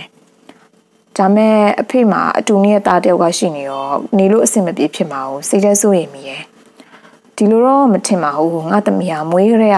အဖေကိုမမြင်ဘူးမတွေ့ဘူးပဲအဖေမရှိတဲ့ဘဝနဲ့ကြီးပြင်းခဲ့ရတာဆိုတော့အခုလိုအဖေနဲ့ပြန်နေခွင့်ရတော့နေစေချင်တာပါပဲလို့ပြောတယ်။နန်းသူစာငယ်ချစ်အောင်နဲ့နှစ်ပေါင်းများစွာဝေးကွာခဲ့ရပြီးမှပြန်တွေ့ရတဲ့မိခင်ရင်နဲ့ခန်းစားချက်ကိုလည်းတိတဲ့တလောက်တိပြီးတော့သဘောပေါက်တန်တလောက်လည်းပေါက်မိလေရဲ့။ဒါကြောင့်ကျိုင်းတော်လိုက်သွားပြီးဖခင်နဲ့အတူပြန်နေဖို့ကိစ္စကိုသဘောတူပေးခဲ့တယ်။ တကယ်ဆိုရင်တာမီနှစ်ယောက်တည်းချိုးတက်စွာနေရတဲ့ဘဝနဲ့မြို့ပေါ်မှာကျန်းကျန်းတတာနေရမယ့်ဘဝမျိုးဟာပို့ပြီးတော့လူလားစရာဖြစ်ပေတယ်ပျော်ရွှင်စရာကောင်းတဲ့အခြေအနေဖြစ်ပေမဲ့တန်းသူစားရင်ထဲမှာပျော်ရွှင်မှုသိမ့်မရှိပဲမတင်မကြဖြစ်နေတယ်တကယ်တော့သူမရင်ထဲမှာမမြင်ရတဲ့ကြိုးတစ်ချောင်းကတုံ့နှောင်ထားသလိုရှိတာကိုအခုမှသတိပြုမိတယ်အရင်သတိမပြုမိပေမဲ့ခွဲခွာခြင်းတို့မဟုတ်ဝေးခွာခြင်းဆိုတဲ့ရိုက်ခတ်မှုတစ်ခုကနှလုံးသားကိုလာထိခတ်တဲ့အခါမှာတော့သတိပြုမိလာတာဖြစ်တယ်။ညီမောင်တို့ချံမှာနန်းသူစာမပါပဲ စိုးတင်စာနဲ့စောမလောင်နှစ်ယောက်ပဲအလုပ်လာလုပ်တာတွေ့ရအခါမှာလုံးပေါ်ကန်ဘက်တွေကဝမ်းရုံမိကြတယ်။နန်းသူစာတို့အိမ်မှာကျိုင်းတော်ကဧည့်သည်နှစ်ယောက်ရောက်နေတယ်။မနက်ကဂျကားတဆင့်မောင်းသွားတာတွေ့လိုက်တယ်။အဲ့ဒါဖြစ်မယ်ထင်တယ်။ဟုတ်တယ်ဟိုလာတဲ့သူတွေကတခြားသူမဟုတ်ဘူး။နန်းသူစာရဲ့အဖေလို့ပြောတင်ကြတယ်။ဟမ်ထိုစကားကြားတဲ့အခါမှာအနားမှာရှိနေတဲ့နေမောင်အပါဝင်အားလုံးကတန်တော်ဖြစ်သွားတယ်။ သူတို့လာတာအခြားမဟုတ်ဘူး။နန်းသူစာတို့တားမေရောကျိုင်းတုံခေါ်သွားဖို့လာတာလို့နန်းသူစာနဲ့တွေ့တော့ပြောလိုက်တယ်။ကောင်းတာပေါ့ဆင်းရဲတဲ့ဘဝနဲ့ချမ်းသာတဲ့ဘဝမျိုးရောက်သွားတာဝမ်းသာစရာပေါ့။ဒီမောင်ကဝမ်းသာစရာစကားကိုဝမ်းနဲ့အတန်မျိုးနဲ့ပြောပြီးမျက်နှာတိတ်မကောင်းလာပဲနေရာထွက်သွားလေရဲ့။ကျန်အဖွဲ့သားတွေကလည်းနေမောင်နဲ့နန်းသူစာညောင်ရဲ့တန်ရောစင်ရောတည်တည်တလောက်တည်ရကြစစ်မကောင်းဖြစ်ရတယ်။ညနေပိုင်းတော့မှနန်းသူစာရောက်လာပြီးသူနဲ့လို့ဖော်ကိုင်းပဲအားလုံးအကျိုးကြောင့်ပြောပြပြီးနှုတ်ဆက်တယ်။ နေအခုလိုဆင်းရဲတဲ့ဘဝနဲ့ချမ်းသာတဲ့ဘဝမျိုးရောက်သွားတာငါတို့တကယ်ပဲဝမ်းသာပါတယ်။ညငါတို့တတိယနေမှာပါ။ငါတို့တနေ့လုံးမှတနေ့စားတဲ့ဘဝတွေဆိုတော့နင်းစီကိုလာနိုင်ကြမှာမထင်ဘူး။နင်တတိယရင်ရောအလဲပြန်ခဲ့ပါလို့အတန်လေးကတုံကရင်နဲ့ပြောတယ်။နန်းသူစာလည်းသူတို့နဲ့စကားပြောနေရင်မှာပဲမျက်ရည်မစင်နိုင်အောင်ဖြစ်နေရဲ့။ညနေပိုင်းရောက်တော့မှနီမောင်နဲ့တွေ့ခွင့်ရတယ်။နန်းသူစာမနေ့ကလေးကသတင်းချပြပါပြီ။ မင်းအဖေနဲ့ပြန်ကြွေးရတာရောကျန်းသာဘဝမျိုးနဲ့နေရတော့မယ့်အတွက်ရောငါတကယ်ပဲဝမ်းသာပါတယ်။ကျမမသွားခင်အကိုစီကစကားတခုတော့ကြားချင်တယ်။အဲ့လိုပြောတော့နီမောင်မျက်နှာတစ်ချက်လွှဲလိုက်တယ်။သူ့ရင်ထဲမှာမပြောပြတဲ့စကားအချို့ကပဲ့တင်ထက်နေတယ်။ငါမင်းကိုချစ်နေရကြပါပြီ။တနေ့ကျရင်ဖွင့်ပြောပြီးလက်ထပ်ဖို့စဉ်းစားပြီးသားပါဒါပေမဲ့မမျော်လင့်မဲ့ဒီလိုအခြေအနေမျိုးရောက်လာပြီးမှတော့ပြောဖို့မတင်လို့မပြောပြစေနဲ့တော့နန်းသူစာရဲ့ ထိုစကားအချို့ကပါဇက်ကမပြောဖြစ်ပဲရင်ထဲမှာပဲပဲ့တင်ထက်နေရဖြစ်တယ်ကိုကျမအတွက်တခုခုပြောပါမင်းအတွက်ကံကောင်းပါစေပျော်ရွှင်တဲ့နေနိုင်သွားပါစေလို့ဆုတောင်းပေးလိုက်ပါတယ်အခုစီကမြုံလင့်ထားတဲ့စကားဒီစကားမဟုတ်ပါဘူးကျမဘဝမှာလည်းမြုံလင့်ထားများများမရှိပါဘူးဒါပေမဲ့မရခဲ့ပါဘူးအကိုကပျော်ပျော်ရွှင်နဲ့နေနိုင်ပါစေလို့ဆုတောင်းပေးလဲမပြောပါဘူးနောက်တော့ဟိုမှာနေသားကြပြီးတော့အဆင်ပြေသွားမှာပါ တိုက်ကြီးနဲ့ချင်းချင်းတသာနေရပါမယ်ကျမဘယ်တော့မှဘဝမမေ့ပါဘူးတနေ့ကျရင်ဒီနေရာကိုပဲပြန်လာခဲ့ပါမယ်အဲ့ကြရင်ဒါအရာအလုံးဟာမပြောင်းလဲပဲဒီချင်နေတန်းရှိပါစေလို့ဆုတောင်းခဲ့ပါတယ်ကျမသွားတော့မယ်လို့ပြောဆိုနှုတ်ဆက်ပြီးရဲ့နောက်နန်းသူစာတယောက်ပြန်သွားလေတယ်နီမောင်သားမလုံးမရှက်နဲ့နေရာမှာရက်ရက်သားကြံနေခဲ့ရောတယ်ငါ့ကိုခွင့်လို့ပေးပါနန်းသူစာရဲ့လို့ခတ်တိုးတိုးရေယူလေတယ်အခုအချိန်နေမှာနီမောက်အတွက်အဲ့လိုရေရိုးရုံမှတပါတခြားဘာမှမတက်နိုင်တော့ဘူးနောက်တနေ့မနေ့ပိုင်းအချိန်မှာပဲ ဆိုင်းကြော်ပေနဲ့ဆိုင်းမြကျော်တို့တားဖာချစ်ကားနဲ့ရောက်လာတာကြောင့်နန်းသူစာကိုတားမိလဲလိုက်သွားကြတယ်ရွာလန့်ကောက်ဖြည်းဖြည်းမောင်းထွက်လေရာရွာရဲခင်မင်သူတွေကအထွက်ပြီးတော့နှုတ်ဆက်ကြတယ်။နီမောင်တို့ခြံရှိရောက်တော့နီမောင်အပေါဝင်အားလုံးကခြံရှိထွက်ပြီးတော့လက်ပြနှုတ်ဆက်ကြလေတယ်။ကောင်းမမှာပါသွားတဲ့နန်းသူစာတို့တားမင်းနှစ်ယောက်စလောမျက်ရည်မစင်နိုင်တယ်လို့ကျန်းရင်သူတို့မျက်ဝန်းမှာလဲမျက်ရည်တွေရစ်ဝဲနေရောတယ်။ နီမောင်တို့အလုပ်ပါတဲ့အချိန်မှာတောင်ကြီးတဝိုက်မှာရှိတဲ့တစ်တော်တွေကိုခုတ်ထွင်ရှင်းလင်းပြီးစိုက်ကင်းအစ်စ်တွေတိုးချဲ့ဖို့ပြင်ဆင်ကြလေ။ထိုကဆရာကြီးဥပန်ကအသိပေးပြီးတော့တိုင်ပင်ကြတယ်။ဘာမှမလုပ်သေးခင်မှာတက်ဆိုင်သူတွေနဲ့အရင်တွေ့ရမယ်လူဘဝမှာပဲဖြစ်ဖြစ်နက်ဘဝမှာဖြစ်ဖြစ်ပရလောကမှာပဲဖြစ်ဖြစ်အပေးယူဆိုတာရှိရယ်ကိုလိုချင်တာရှိရယ်ဆိုရင်သူတို့လိုချင်တာတွေလည်းလုပ်ပေးရတယ်မှန်ပါတယ်ကျွန်တော်တို့ကတိတ်မတီတော့အဖပဲဆောင်ရွက်ပေးပါ နီမောကပြောတော့ဥပန်ကောင်ကအလုတ်လက်ဆအလုတ်တူထားခဲ့ပြီးလိုက်လာလေတယ်။ထို့နောက်လိုအပ်တဲ့ပစ္စည်းတွေပါတပါးယူပြီးတောင်ပေါ်တက်ကြတယ်။နီမောစိုးတင်ငမင်းအောင်လည်းဥပန်ကောင်တို့၄ယောက်ပဲဖြစ်တယ်။တောင်ပေါ်ရောက်တဲ့အထိတော့အနောက်အဆက်တွေနဲ့မတွေ့ရပဲထို့တောင်တစ်ခေါက်ရောက်ဖူတာကြောင့်ကိုမျိုးရှင်နန်းနန်းဟောက်ရှိရာဘက်ကိုဥတီသွားကြလေတယ်မနက်ပိုင်းအချိန်ကျတော့နန်းဟောက်ရှိရဲ့နေရာတစ်ဝိုက်ကိုရောက်သွားကြတယ်နန်းနန်းဟောက်မှာကျွန်းတိုင်ကျွန်းသစ်တွေနဲ့စောက်ထားတာကြောင့်နေပေါင်းတော်တော်ကြာပြီမဲ့ ပုံတရံဟောင်းကိုတွေ့မြင်နေရသေးတယ်နန်းနန်းစင်မှာနှက်ရုပ်တွေမရှိတော့ဘူးစင်ပေါ်မှာရှိတဲ့အမိုက်တွေကိုတုတ်တင်ရှင်းလင်းပြီးတဲ့အခါမှာ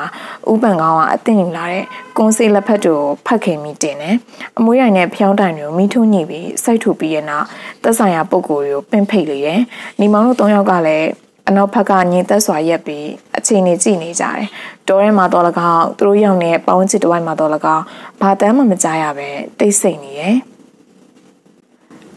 ညီမောင်တို့ကနေရာမှာရက်နေရင်လည်းဖေနီယာတောကောင်ကြီးတိုးထွက်လာမယ်လို့ကြည်နေရတယ်။ကြားရိတ်တန်တွေကြားနေရပါမယ်။ဥပန်ကောင်ကနောက်ကိုလက်မကြည့်ပဲသူ့လိုရမယ့်အလုပ်ကိုပဲအာရုံစိုက်ပြီးတော့လောက်ကင်နေလေ။ကြားရိတ်တန်ကြားရပါမယ်။ကြားတော့ထွက်မလား။ရှမ်းလူမျိုးတွေဝတ်တဲ့အဝတ်တွေကိုဝတ်ဆင်ပြီးခေါင်းပေါင်းပတ်ပေါင်းထားတဲ့လူကြီးတယောက်ထွက်လာတယ်။စပင်ကိုဥကောင်းတိတ်မှာထုံထားပြီးဓာတ်တလက်ကိုကျောမှာလွှဲထားလေတယ်။အရက်အမောင်းကောင်းမင်းနှုတ်ခမ်းမိုးရေးရေးရှိပြီးတော့ဥပတိယုတ်ကောင်းသူဖြစ်ကြောင်းမြင်ယုံနဲ့သိနိုင်လေတယ်။ ကြည့်ရင်တော့ရှေးခေတ်ကရှမ်းစော်ပွားနဲ့များစွာတူလာတယ်။ "तू ကတော်ရထွက်လာပြီ။ညီမောင်တို့နဲ့မနီမိုးရောက်တဲ့အခါမှာရက်တန့်ပြီးအခြေအနေကြည့်နေတယ်။ तू ထွက်လာပြီးရင်တော့ကြားဟင်းတန်တွေလည်းရက်တန့်သွားတယ်။ပင်းဖိတ်ထားတဲ့သက်ဆိုင်ရာပုံကိုကြွရောက်လာတဲ့ထင်ပါတယ်။ဘလို့ပုံကိုပါလဲ။ကိုမျိုးရှင်လို့ပြောတော့ဥပန်ကောင်ကလက်အုပ်ချီအယူသေးပေးလျာနောက်မှရက်နေကြတယ်။ညီမောင်တို့၃ယောက်ပါလက်အုပ်ချီပြီးတော့အယူသေးပေးကြလေတယ်။ညီမောင်စိတ်ထဲမှာ နှစ်များစွာဘဝပြောင်းနေနတ်ဘဝရောက်နေသူတယောက်ကိုပြန်တွေ့ရတယ်လို့ထင်နေမိတယ်။ထို့နောက်ဥပန်ကောင်ကကျွန်တော်တို့ကပြီးမဘက်ကဒီနယ်ကိုလာရောက်လောက်ကန်သူတွေပါဒီနယ်ဒီတာရဲ့ delete ထုံးစံတွေကိုတေချာမသိတော့ပြောဆိုပြုမှုတာတွေအမှားရှိပါခွင့်လွတ်ပေးတော်မူပါအရှင်နောက်တစ်ခုခွင့်တောင်းစရာရှိပါတယ်အရှင်နမင်းပိုင်နဲ့လွယ်ပန်တောက်ကြီးဘက်မှာတတိဆိုင်ကင်းတွေပြုလုပ်လိုပါတာကြောင့်ခွင့်ပေးတော်မူပါကျွန်တော်တို့ခွင့်ပြုပေးတာကျေးဇူးတင်ပါတယ်ဒီအတွက်လုပ်ပေးစီချင်တာတွေကိုမိန့်ကြတော်မူပါ ငါနန်းကိုမူလအတိုင်းပြုပြင်ပေးပါကောင်းပါပြီဘလို့ပုံတန်ရှိရဲဆိုတာဒါပြပေးပါလို့ပြောတော့ကိုမျိုးရှင်ကနန်းဟောင်းရှိတဲ့နေရာဘက်ကိုလက်ညှိုးထိုးပြတယ်ခဏကြာတော့ထုံရတဝိုက်မှာလက်ရှိမြင်ကွင်းနဲ့တဖြည်းဖြည်းပျောက်ကွယ်သွားပြီမြင်ကွင်းတစ်တွေဝိုးတဝပေါ်လာတယ်တောင်ကုန်းတငုံပေါ်မှာဆောက်လုပ်ထားတဲ့နက်နယ်မဲဖြစ်လေရဲ့ကျွန်းတစ်တွေနဲ့ရှေးခေတ်နန်းတော်နဲ့ပုံတန်တူအောင်ဆောက်လုပ်ထားတဲ့နက်နယ်မဲဖြစ်တယ်အိမ်ငယ်တလုံးစာများကြီးတဲ့အဆောက်အဦဖြစ်လေရဲ့ မင်းကျော်စောနဲ့ကသူဆံမြန်းနဲ့ပကန်းနဲ့နဲ့ကြီးမီးလောင်ပစ်စီသွားတော့ကိုကြီးကျော်နဲ့ကိုရိုင်းချင်းတွင်းမြစ်အထက်ပံဆန်တက်ပြီးတော့အကောင်းဆုံးကျုပ်သက်တွေကိုရွေးချယ်ပေးခဲ့တယ်။ဖောင်ဖွဲ့ပြီးချင်းတွင်းမြစ်မှာမျောတော့လဲဖောင်ဦးမှာမောင်ကျော်ဖောင်တော့ကပီးထိုးပြီးတော့စုံမျောခဲ့တယ်။ကိုမျိုးရှင်ကပြောပြတော့ညီမောင်တို့တွေငြိမ်သက်စွာနားထောင်နေကြတယ်။ငါရဲ့နန်းနဲ့ဆောက်လို့စဉ်အသုံးပြုတဲ့တက်ကောင်တွေကိုဒီတော့ဒီတောင်တွေမှာပဲငါကိုရိုင်းရွေးချယ်ပေးခဲ့တယ်။ နန်းနန်းဆောက်တဲ့အခါမှာတစ်ကောင်းတွေနဲ့အခုတွေ့ရတဲ့ပုံသက်တဲ့အတိုင်းဆောက်လုပ်ပေးပါ။နကုန်းပေါ်မှာရှိတဲ့ရုပ်ထုတွေကိုကြည့်ပြီးအောင်တော့လို့ပြောပြီးထပ်မံလက်ညှိုးထိုးပြတယ်။နန်းနန်းစင်မှာနှက်ရုပ်၃ရုပ်ရှိတယ်။ရှမ်းရွရအဝတ်စားတွေဝတ်ပြီးတော့ဓာတ်တလက်ကြောမှလွယ်ထားတဲ့ကိုမျိုးရှင်နှက်ရုပ်ရှမ်းအမျိုးသမီးဝတ်တဲ့အဝတ်စားတွေဝတ်ထားတဲ့ပလဲရင်ရုပ်ထုနောက်တစ်ရုပ်ကပကတ်ငယ်နဲ့ထည့်ထားတဲ့ပလဲရင်ရဲ့သမီးငယ်တသေးလေးခေါ်မသေးလေးနှက်ရုပ်တို့ပဲဖြစ်လေတယ်။ ခွန်ချိုခွန်သားတို့နန်နန်ကတောင်ကျင်းနဲ့မနီးမဝေးမှာရှိတယ်။သူတို့နဲ့သက်ဆိုင်တဲ့နှက်ကွန်တော့ထလေးထုံးစံတဲ့အညီသူတို့သဘောကျတယ်လို့သာပြုပြင်ပေးကြပါ။နန်းနန်းဆောက်ပြီးတဲ့အခါမှာငါအင်းရှိဆန်ဘွားကင်ခဲ့တဲ့လက်သုံးတော်ဓာတ်ဒီတော်ရင်တနေရာမှာရှိတယ်။အဲ့ဒီဓာတ်ရှိတဲ့နေရာငါကန်တော်ကုန်ခဲ့တဲ့နေရာပဲ။နီမောက်စိတ်ထဲမှာမင်းကြော်စွာစီခိုင်းတာကြောင့်ခွန်ချိုခွန်သားတို့ကကိုမျိုးရှင်ဦးကောင်အလိုရှိရဲလို့ရှောက်တယ်နော်။သူကိုယ်တိုင်တစ္ဆာဒိဋ္ဌံဖြူပြီးလက်သုံးတော်ဓာတ်ကို ဇက်ပေါ်တင်ပြီးအလိုအလျောက်ဥကောင်းပြက်ပြီးနတ်ဘဝပြောင်းခဲ့တဲ့နေရာဖြစ်မယ်လို့ခန့်မှန်းနေမိရဲ့လွန်ခဲ့တဲ့ပေါင်းများစွာအဖြစ်ပြက်တွေမှာမကြသေးခင်ကအဖြစ်ပြက်တဲ့အလားစိတ်ထဲမှာမြင်အောင်နေမိရဲ့ကားရဲ့လက်တော်တော်ဓာအပြင်ကိုမြို့ကိုတကကိုထားရှင်ဆိုနေမယ်နဲ့လိုက်ဖတ်အောင်ဓာကိုလက်ကိုဘဲကိုယ်တိုင်စီရင်ပြုလုပ်ပြီးတော့တင်ပေးရမယ်ကောင်းပါပြီဘလို့အမျိုးအစားတွေပြုလုပ်ပေးရမှာပါလဲရွှေဓာငွေဓာကျင်းနီဓာကြေးဝါဓာ တန်ဓာတွတ်ဓာဓာသားဓာရွှေပြူဓာဒန်းနဲ့ပြုတ်လောက်တာတဲ့ဓာအဲ့ဒီဓာကိုလက်ပဲကောင်းပါပြီကျွန်တော်တို့လည်းဒီနေရာမှာစက်ကင်းတွေပြုတ်လို့ခွင့်ပေးပါငါနဲ့သက်ဆိုင်တဲ့နေရာတွေမှာငါခွင့်ပြုပေးရဘလို့အန်ဒီယဲမှမရှိစေရအောင်ပြင်ပအနောက်အချက်တွေရောက်လာရင်လည်းငါရှင်းပေးမယ်နန်းနန်းဆောက်တဲ့အခါမှာငါဖောက်ခင်ဖြစ်တဲ့အတွက်ငါတို့နန်းနန်းကိုအရင်ဆောက်ပြီးမှခွန်ချုံခိုးတောင်းနန်းနန်းကိုဆောက်ပြီးပါ ကောင်းပါပြီလို့ပြောဆိုပြီးရင်တော့ကိုမျိုးရှင်နဲ့ကြည်ဟာနေရာမှာဖြက်ခနဲပျောက်သွားလေရောတယ်။ထိုခါမှနေမောင်တို့လည်းအတော့အောင်ရှူပြီးတပြင်းချနိုင်တော့တယ်။ကဲတက်စရာပုတ်ကိုရင်းနဲ့တော့တွေ့ပြီးပြီခွင်တောင်းတဲ့ကိစ္စလည်းပြီးပြီဆိုတော့ငါတို့ဘက်ကဂတိပေးတဲ့အတိုင်းလုံးစရာတွေအရင်လုပ်ပေးရမယ်လို့ဥပန်ကောင်ကပြောတယ်တချို့ကတောင်ကျင်မှာရှိတဲ့တစ်ပင်တွေခြုံတွေတွေရှင်းပြီးတော့မြေကွက်တွေဖော်လို့ရပြီငါကကျွမ်းကျင်တဲ့လွှတ်သမားလက်သမားတွေခေါ်ပြီးနည်းနည်းဆောက်ဖို့လုပ်ရမယ် ကောင်းပါပြီအဘသာစီစဉ်ပေးပါလိုအပ်တာတွေကျွန်တော်တို့ဝိုင်းမြို့လုပ်ပေးပါမယ်ဒါတက်နှရုပ်တွေကဘယ်လိုလုပ်မှာလဲအဖဒီနေရာတွေမှာကျွန်းယမနီမဟော်ဂနီတစ်ပင်တွေရှိရပဲကျွန်းကျင်တဲ့ပပူးဆရာတယောက်ကိုငွေကြေးပေးခေါ်ပြီးတော့ထုလုပ်ခိုင်းမကြပါဘူးဒါတဲ့ဓာကုလက်ဆိုတာရောအဖစိတ်ပူစရာတော့မရှိပါဘူးငါပဲလုံမှာပါ ဥပန်ကောင်မှာအကရက်ပညာကျွမ်းကျင်သူဖြစ်တာကြောင့်ထိုကိစ္စအခက်အခဲမရှိတဲ့အမူအရာနဲ့ပြောဆိုနိုင်တာဖြစ်တယ်။ဒါကြောင့်နေမောင်တို့လည်းတော်တော်စိတ်အေးသွားရတယ်။မင်းတို့လုပ်ပေးရမယ့်တာဝန်တစ်ခုရှိသေးတယ်။ကိုမျိုးရှင်ကိုတော်ရဲ့လက်သုံးတော်တာကိုတွေ့အောင်ရှာပေးဖို့ရှိသေးတယ်။ဒါမဲ့ရှာရင်တော့အဖပါမှာဖြစ်မယ်ထင်တယ်။ဘယ်နေရာတွေမှာရှာရမလဲအဖ။မခတ်ပါအောင်နန်းဟောင်းရှိတဲ့နေရာကကိုမျိုးရှင်ကိုတော်ကြီးကန်တော်ကုန်းတဲ့နေရာပဲ။သူ့ရဲ့လက်သုံးတော်ထားတင်ညာတဝိုက်မှာပဲရှိနိုင်ပါတယ်။ကဲပြန်ကြရအောင်လို့ပြောပြီး တောင်ကြီးဘက်ကိုပြန်ဆင်းလာကြတယ်။အချင်းကနီးလက်ဘက်ကြော်ပြီးမိုးမခရွာမှာစီးပွားရေးကောင်းသူအချို့ရှိလျာဘေးဆိုင်ပြူရောင်းချခြင်းနဲ့စီးပွားရေးချောင်နေကြတာဖြစ်တယ်။ထိုထဲမှာခွန်ကျော်ပီတို့မိသားစုလည်းအပါဝင်ဖြစ်လေတယ်။ခွန်ကျော်ပီရဲ့မိဘတွေကဦးဆိုင်ပဖေနဲ့ထွန်နှန်းကြီးကိုဖြစ်ကြတယ်။သူတို့နှစ်ယောက်စလုံးအသက်50ကျော်ရွယ်ရှိပြီးတော့ရှမ်းလူမျိုးတွေဖြစ်ကြတယ်။ဦးဆိုင်ပဖေကစီးပွားရေးကောင်းတဲ့အပြင်ပေါင်းသစ်ဆက်ဆံရေးမှာလည်းလူရည်လေသူဖြစ်လေတယ်။ မြို့ပေါ်မှာရုံးထိုင်ကြတဲ့ဌာနဆိုင်ရာတာဝန်ရှိသူတိုင်းနဲ့ခင်မင်းရင်းနှီးအောင်ပေါင်းတင်ထားတယ်။ပြောရရင်တော့အလိုရှိရင်အသုံးပြုနိုင်မှုရွှေငွေနဲ့လက်လာပါပေးပြီးခပိုက်ထဲထိတ်ထားနိုင်တဲ့အဆင့်မျိုးရှိတယ်။ဒါပြင်မိုးမခရွာလူကြီးဥခင်တူရောက်မှသူ့ဩဇာအောင်မလွန်ဆန်နိုင်။ဦးဆိုင်ပဖေကဥခွန်တီကိုရွာလူကြီးဖြစ်စေဖို့မြို့ဝလူတွေကိုပြောဆိုထားပေးရကြောင်းဖြစ်လေတယ်။ ဦးဆိုင်ဘဖေတို့ပိုင်တဲ့ဖိတ်ဆက်ခင်တွေကညီမောင်တို့ပိုင်တဲ့တတိကျန်တွေရှိရတဲ့နမိတ်နဲ့မဝေးလာတဲ့နေရာအထိရောက်နေတယ်။ဦးဆိုင်ဘဖေကနေရာရှိသေးပါနေရာထက်ချက်ကျင်သေးပေမဲ့မြေကွက်ကမရှိတော့ပြီ။ညီမောင်တို့ကပန်းသီးပင်လိမ္မော်ပင်စားရဲ့နှစ်ရှိသီးပင်တွေစိုက်ပျိုးထားတာကြောင့်တိုးချဲလို့မရနိုင်တော့ပြီ။နောက်တနေ့ကလွယ်ပန်တောင်ကျေးဘက်သွားရောက်လောက်ကင်မှာမြေကွက်တွေရနိုင်သေးတယ်။ဒါပေမဲ့လွယ်ပန်တောင်ကကျန်းတယ် တကြိမ်တစ်ကြိမ်တွားရောက်စူးစမ်းကြည့်လေရာအန်နီနဲ့တွေ့ပြီးတော့နောက်ထပ်မလုပ်ရတော့လို့လက်လျှော့ထားခဲ့တာကြာပြီအခုတော့အိုးဆိုင်ဖဖေအတွက်တရင်နောက်တစ်ခုရောက်လာတယ်ဒါဖြစ်သူခွန်ကြော့ဖေဖြစ်လေတယ်အဖေဟိုဘက်ဆန်နီမောင်တို့လွယ်ပန်တောင်ချေဘက်မှာမြေကွက်တွေရှင်းနေတာတော်တော်ဦးကျနေပြီအဲ့ဒီနေရာတွေကအန်ဒီရရှိရမလားသူတို့ဘာမှမဖြစ်ကြဘူးလားဘာမှတော့ပြောတယ်မကြားရဘူးဘာမှမဖြစ်လို့လုံနေရဖြစ်မှာပေါ့ထိုစကားကြတော့ဦးဆိုင်ဖဖေမှာစဉ်းစားရခတ်သွားတယ် အဲ့နေရာတွေကကျန်းတယ်ဘယ်သူမှလုပ်လို့မရဘူးဆိုတာလေလူတိုင်းသိနေရပဲဒီမြေပြက်ဘက်ကလာတဲ့သူတွေမှာဒီလိုလုပ်လို့ရတဲ့လားအဲ့ဒါအရင်မကြည့်ဘူးတောင်ကျေဘက်တွေကနေအောင်ကြည့်ရပြီးတော့မြေဩစာကောင်းတယ်ဘင်းခင်းတွေဆက်လာရင်တော်တော်ရမှာဗျဒီတိုင်းကြည့်နေရင်သူတို့တတိပင်တွေစိုက်ပျိုးပြီးမှဆိုရင်ဘာမှလုပ်လို့ရမှာမဟုတ်ဘူးသူတို့ရှင်းထားတဲ့မြေကွက်တွေကိုကျွန်တော်တို့ရအောင်လုပ်ရမှာပေါ့အေးကောင်းတာပဲအဖေမိုင်းတင်းမြေစရင်ဌာနအရာရှိနဲ့တွေ့ပြီးအဲ့မြေကွက်တွေရှောက်ပြီးတော့ အရာရှိငွေများများပေးပြီးတော့ပါမစ်ကြအောင်လို့ပါမစ်ကြရင်အဲ့ဒီမြေကွက်တွေကိုကျွန်တော်တို့ပိုင်ပြီပေါ့မင်းပေးတဲ့အကြံကောင်းတယ်အမြဲဆုံးမိုင်းပြင်းမြေစင်းဌာနသွားပြီးတော့တောင်ကျင်းမြေကွက်တွေကိုငါ့နာမည်နဲ့ပါမစ်ကြအောင်လုပ်ရမယ်အဲ့နောက်ဦးဆိုင်ပဖေနဲ့ခွန်ကျော်ဖေတို့တားဖာနေအောင်ပိုင်းပြင်းသွားဖို့စီစဉ်ကြတယ်။ညီမောင်တို့ကတတိတွေခူးဆုပ်ရောင်းချလေရာရာတီပြီးရနဲ့မြေကွက်တွေဖော်ပြီးပြိုးပင်တွေချဖို့ပြင်ဆင်နေလေရာအလုံးမနာရအောင်ရှိလေရဲ့။ ညီမောင်စိတ်ထဲမှာနန်းသူစာတတိရပေမဲ့သူမရှိတဲ့နေရာတော့မရောက်နိုင်သေးပြီ။တနေ့တော့ရောက်အောင်သွားပြီးတော့အချိန်လေးကြည့်မယ်လို့စိတ်ကူထားတယ်။ညီမောင်တို့ကတပြိုင်နက်အလုံးနှစ်ခုခွဲလို့ရတယ်လို့ဖြစ်နေရဲ့။ညီမောင်စောတိငမဲအောင်တို့ကမြေကွက်ရှင်တဲ့အလုပ်ကိုလုပ်နေစင်ပါညီဖြစ်သူရင်မောင်ကပါလာရောက်ဝိုင်းကူပေးလေရဲ့။တောင်ပေါ်မှာဥပန်ကောင်ကအလုတမအချုပ်ခေါ်ပြီးနှက်ကုန်းဆောက်ဖို့စီစဉ်နေစင်မှာနေမဖခင်ဥပရှင်ကဥပန်ကောင်နဲ့အတူတွားရောက်လောက်ကင်ပြီးတယ်။ ဒေါ်ကျင်မင်းနဲ့နှင်းမီတို့ကစားတောက်ဖို့အတွက်စီစဉ်ပြီးတော့ပို့ပေးကြတယ်။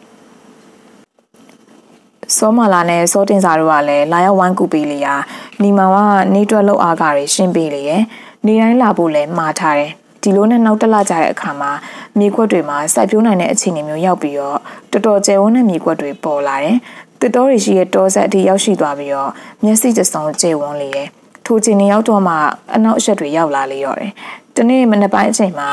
နေမောင်တို့တွေမြေခွက်တွေမှာရောက်နေစင်မှာလူတစုရောက်လာတယ်ဦးဆောင်လာသူကမိုင်းပြင်းမြေစင်ရင်ယုံကဦးမင်းတင်ဆိုသူဖြစ်လေ။ဦးမင်းတင်မှာ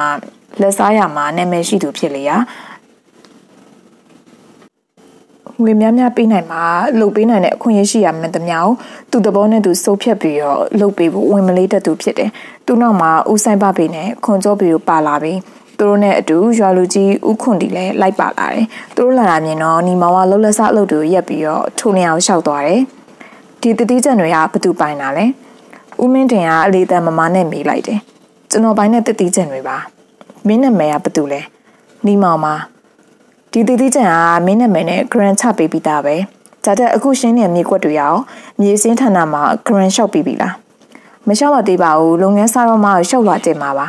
ဒီလိုမရအောင်လေဘယ်နေရာမှာမဆိုအလုပ်လုပ်တော့မယ်ဆိုရင်သက်ဆိုင်ရာဌာနတွေမှာကြိုပြီးတော့ရှောက်လွှာတင်ရတယ်။အခုတော့ဒီနေရာဒီမြေကွက်တွေကိုဟော်ရီယာဦးဆိုင်ပဖေကမြေကရရှောက်ထားလို့ချပေးပြီးပြီ။မင်းတို့ဆက်လုပ်ခွင့်မရှိတော့ဘူး။ခမရတို့ကဘလို့အကြံစီနဲ့ဒီလိုလာပြောရဲဆိုတာသဘောပေါက်ပါတယ်။ဒါမဲ့ဒီနေရာတွေကကိုသဘောနဲ့ကိုလှုပ်ချင်နိုင်လို့လို့မရပါဘူး။ပိုင်ရှင်တွေရှိပါတယ်။မဟုတ်ဘူးလေဒီမြေကွက်တွေအားလုံးအစိုးရပိုင်တယ်ငါတို့မြေစင်းဌာနပိုင်တယ်လေ ခမရတို့တကယ်မပိုင်ပါဘူးစာရွက်ပေါ်မှာပဲလှုပ်ခွင့်ရှိရပါတကယ်သက်ဆိုင်တဲ့သူတွေကသူ့ညာနဲ့သူရှိနေကြပါတယ်သူတို့သဘောမတူပဲအတင်းဝင်တော့ရင်ဘေးအန်နေနဲ့တွေ့မှာပဲဒါကအရေးမကြည့်ပါဘူးမင်းဒီလိုပြောလဲငါတို့ကမကြောက်ဘူးနောက်တနေ့ဆပြီးတော့မင်းရဲ့အလုပ်သမားတွေတင်းလိုက်တော့ငါစီကအလုပ်သမားတွေနဲ့ဘေးဆက်ခင်လို့ပို့ငါတို့စီကအလုပ်သမားတွေလွတ်တော့မယ် ခွန်ကြောပေကလေးတန်မမနဲ့ပြောဝင်မဲ့ညီမောင်ကထွေတူတူထပ်မပြောတော့ဘူးထို့မောင်ကညီမောင်ကအလုပ်လုပ်နေကြတဲ့အလုပ်သမားတွေကိုပြန်ခေါ်ပြီးပြန်ဖို့ပြင်တယ်ပထမတော့အလုပ်သမားတွေကသဘောမပေါက်ကြဘူးနောက်မှအခြေအနေသိသွားတဲ့အခါမှာအတော်မကြည်မနဲ့ဖြစ်နေကြတယ်နောက်တော့ညီမောင်ကသူ့အလုပ်သမားတွေအားလုံးခေါ်ပြီးပန်းတိချန်ရှိရဘက်ကိုပြန်သွားကြလေရဲ့။ဦးဆိုင်ပပေနဲ့ခွန်ကျော်ပေတို့တားဖာသူတို့အကြံစီအောင်မြင်ခဲ့တာကြောင့်ကျေနပ်နေလေတယ်။ခုတ်ထွင်ပြီးရဲ့မြေကွက်ကျဲကိုကြည့်ပြီးပီတိဖြစ်နေကြတယ်။ထို့အချိန်မှာပဲ နေ့လည်းပဲဖြစ်ပေမဲ့အလင်းအောင်ပျောက်ပြီးအမောင်ရွေးတွေတန်းလာပြီးမိုးကြတယ်လို့ဖြစ်လာတယ်။မရှိမနှောမှာတောဆက်တနေရကြားဟင်းတန်တွေပေါ်ထွက်လာတာကြောင့်အားလုံးမျက်လုံးပြူသွားကြတယ်။လှမ်းကြည့်လိုက်တော့တောဆက်တနေရနေတနေရာခုန်ကူးသွားတဲ့တောကောင်ရဲ့ပုံရိပ်ကိုလှမ်းမြင်ရတယ်။တကောင်မဟုတ်ပင်နှစ်ကောင်သုံးကောင်တွေးကြရတာဖြစ်တယ်။ထိုးချင်းညမြင်တော့ဦးမင်းတင်ကဒါမကောင်တောကောင်တွေဒီလောက်ပေါ်တဲ့နေရာမှာခမရတို့အလုပ်လုပ်လို့ရမှာမဟုတ်ဘူး။ စိတ်မပူပါနဲ့ကျွန်တော်တို့မှာအလုပ်သမားတွေအများကြီးရှိတာပဲ။တောကောင်တွေ့တော့လဲတနက်နဲ့ပြစ်မှာပေါ့လို့ပြောပြီးပြန်သွားကြလေတယ်။နေ့လယ်ပဲရောက်တော့ညီမောင်တို့၃ယောက်ကတောထဲမှာအလုပ်လုပ်နေကြတဲ့ဥပန်ကောင်းစီသွားပြီးအခြေအနေကိုပြောပြလိုက်တယ်။မြေခွက်ချယ်တွေပေါ်လာတော့လောဘတက်လာလို့ဒီလိုကြံစီရဖြစ်မှာပေါ့စိတ်ပူစရာမရှိပါဘူးဒီနေရာတွေကသက်ဆိုင်ရာပုံကိုယ်တွေကငါတို့ခွင့်ပေးပြီးသားဆိုတော့ဘယ်သူမှမတရားဝင်ယူလို့မရပါဘူး ဒါမြေစင်းဌာနလူနဲ့ပေါင်းပြီးတော့ကြံစီရကျွန်တော်သိပါတယ်မကောင်းမှုဆိုတာပြုတ်ရလူစုပြန်လာတတ်ပါတယ်။စောင့်တာကြည့်ပါလို့ပြောပြီးဥပန်ကောင်နှုတ်ဆက်ပြီးရွာဘက်ကိုပြန်ဆင်းလာကြတယ်။သူတို့ပြန်ဆင်းလာတော့တောလက်တစ်လျှောက်တော့ဘာအနောက်အရှက်မှမတွေ့ရ။နောက်တနေ့မနက်ပိုင်းအချိန်မှာပဲခွန်ကျော်ပေကိုယ်တိုင်အလုသမားတို့တခါရဲခေါ်ပြီးညီမောင်တို့ရှင်းထားပြီးရဲ့မြေကွက်တွေရှိအောင်ရောက်လာပြီးလုပ်ငန်းစတင်ကြတယ်။ဘေးဆက်ကင်မှာလောက်ကင်နေသူတွေကလွယ်ပဲတောင်စီတဝိုက်ကိုအလုပ်လုပ်ဖို့အသာထား ဒီတိုင်းအောင်မလာခြင်းအန်ဒီရီတွေ့မှာကိုကြောက်ရွံ့တာကြောင့်မလာရဲတာဖြစ်တယ်အခုတော့ခွန်ကျော်ပေကအတင်းခေါ်တာကြောင့်ကြောက်ကြောက်နဲ့လိုက်လာရတာဖြစ်တယ်စုစုပေါင်းလူ20ရှိရယ်မနက်ပိုင်းအလုပ်စားလို့တော့ရာတီဥတုကတာရတာကြောင့်တောင်တန်းတွေပေါ်ကကြောတက်လာတဲ့နေအောင်ကြီးတော်မြင်နေရတယ်နေ့လည်းပဲရောက်တော့အချိန်ကြီးချက်ချင်းပြောင်းသွားတယ်တိမ်တိုက်တွေတက်လာတာကြောင့်နေအောင်ပျောက်လေတယ်ချက်ချင်း အလင်းအောင်ပျောက်သွားပြီးတော့မိုးမောင်တယ်လို့ဖြစ်လာတယ်။နောက်တော့တောဆက်ဘက်ကကြားဟင်းတန်တွေထွက်ပေါ်လာတယ်။ခဏကြာတဲ့အခါမှာတနေရတနေရခုန်ကူးသွားတဲ့တောကောင်တွေရဲ့ပုံရိပ်ကိုပါတွေ့လာရတယ်။ခွန်ကျော်ပီကကြောကလွယ်ထားတဲ့တနက်ကိုဖြုတ်ယူပြီးတော့အသင့်ပြင်းတယ်။ကြားဟင်းတန်တွေကတနေရာရဲ့ကြားနေရမှာမဟုတ်ပဲနဲ့နေရာအနှံ့ကကြားနေရတာဖြစ်တယ်။အတန်ကြာတော့တောဆက်ကကြားတကောင်ထွက်လာတယ်။အကောင်အရွယ်စတော်တော်ကြီးရဲ့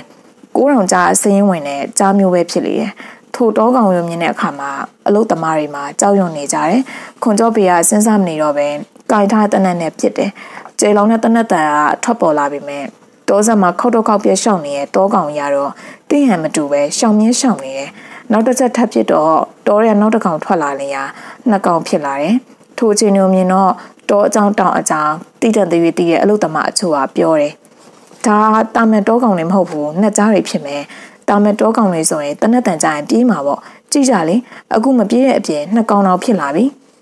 ဟုတ်တယ်ဆက်လုံးရင်အားလုံးတေအောင်တော့မှာဒီနေရာတွေမှာဆက်မလို့ရတော့ဘူးမရှိရှိရစားပြီးအေးအေးပဲနေတော့မယ်အိမ်နောက်ခေါ်လာအလုပ်သမားတွေအားလုံးပြန်သွားလေရာခွန်ကြောပေနဲ့နောက်လိုက်အချို့ပဲကြံတော့တယ်ဘယ်လိုလုပ်မလဲဆရာအလုပ်သမားတွေတယောက်မှမရှိတော့ဘူးငါတော့မကြည့်နေဘူးညီမတို့ဒီနေရာမှာလုံနေတာတော်တော်ကြာပြီလေဘာပြဿနာမှမရှိလို့လုံနိုင်တာပေါ့ ငါတို့လုံမှဘာလို့ဒီလိုဖြစ်ရလဲ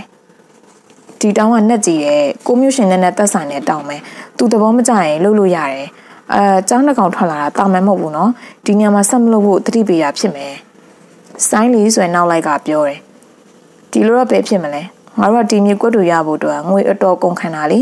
နောက်ပြန်ဆိုလို့မဖြစ်ဘူးဒီကိစ္စအဖေနဲ့တိုင်မယ်ပြီးတော့မဖြစ်ဖြစ်အောင်လုပ်ရမယ်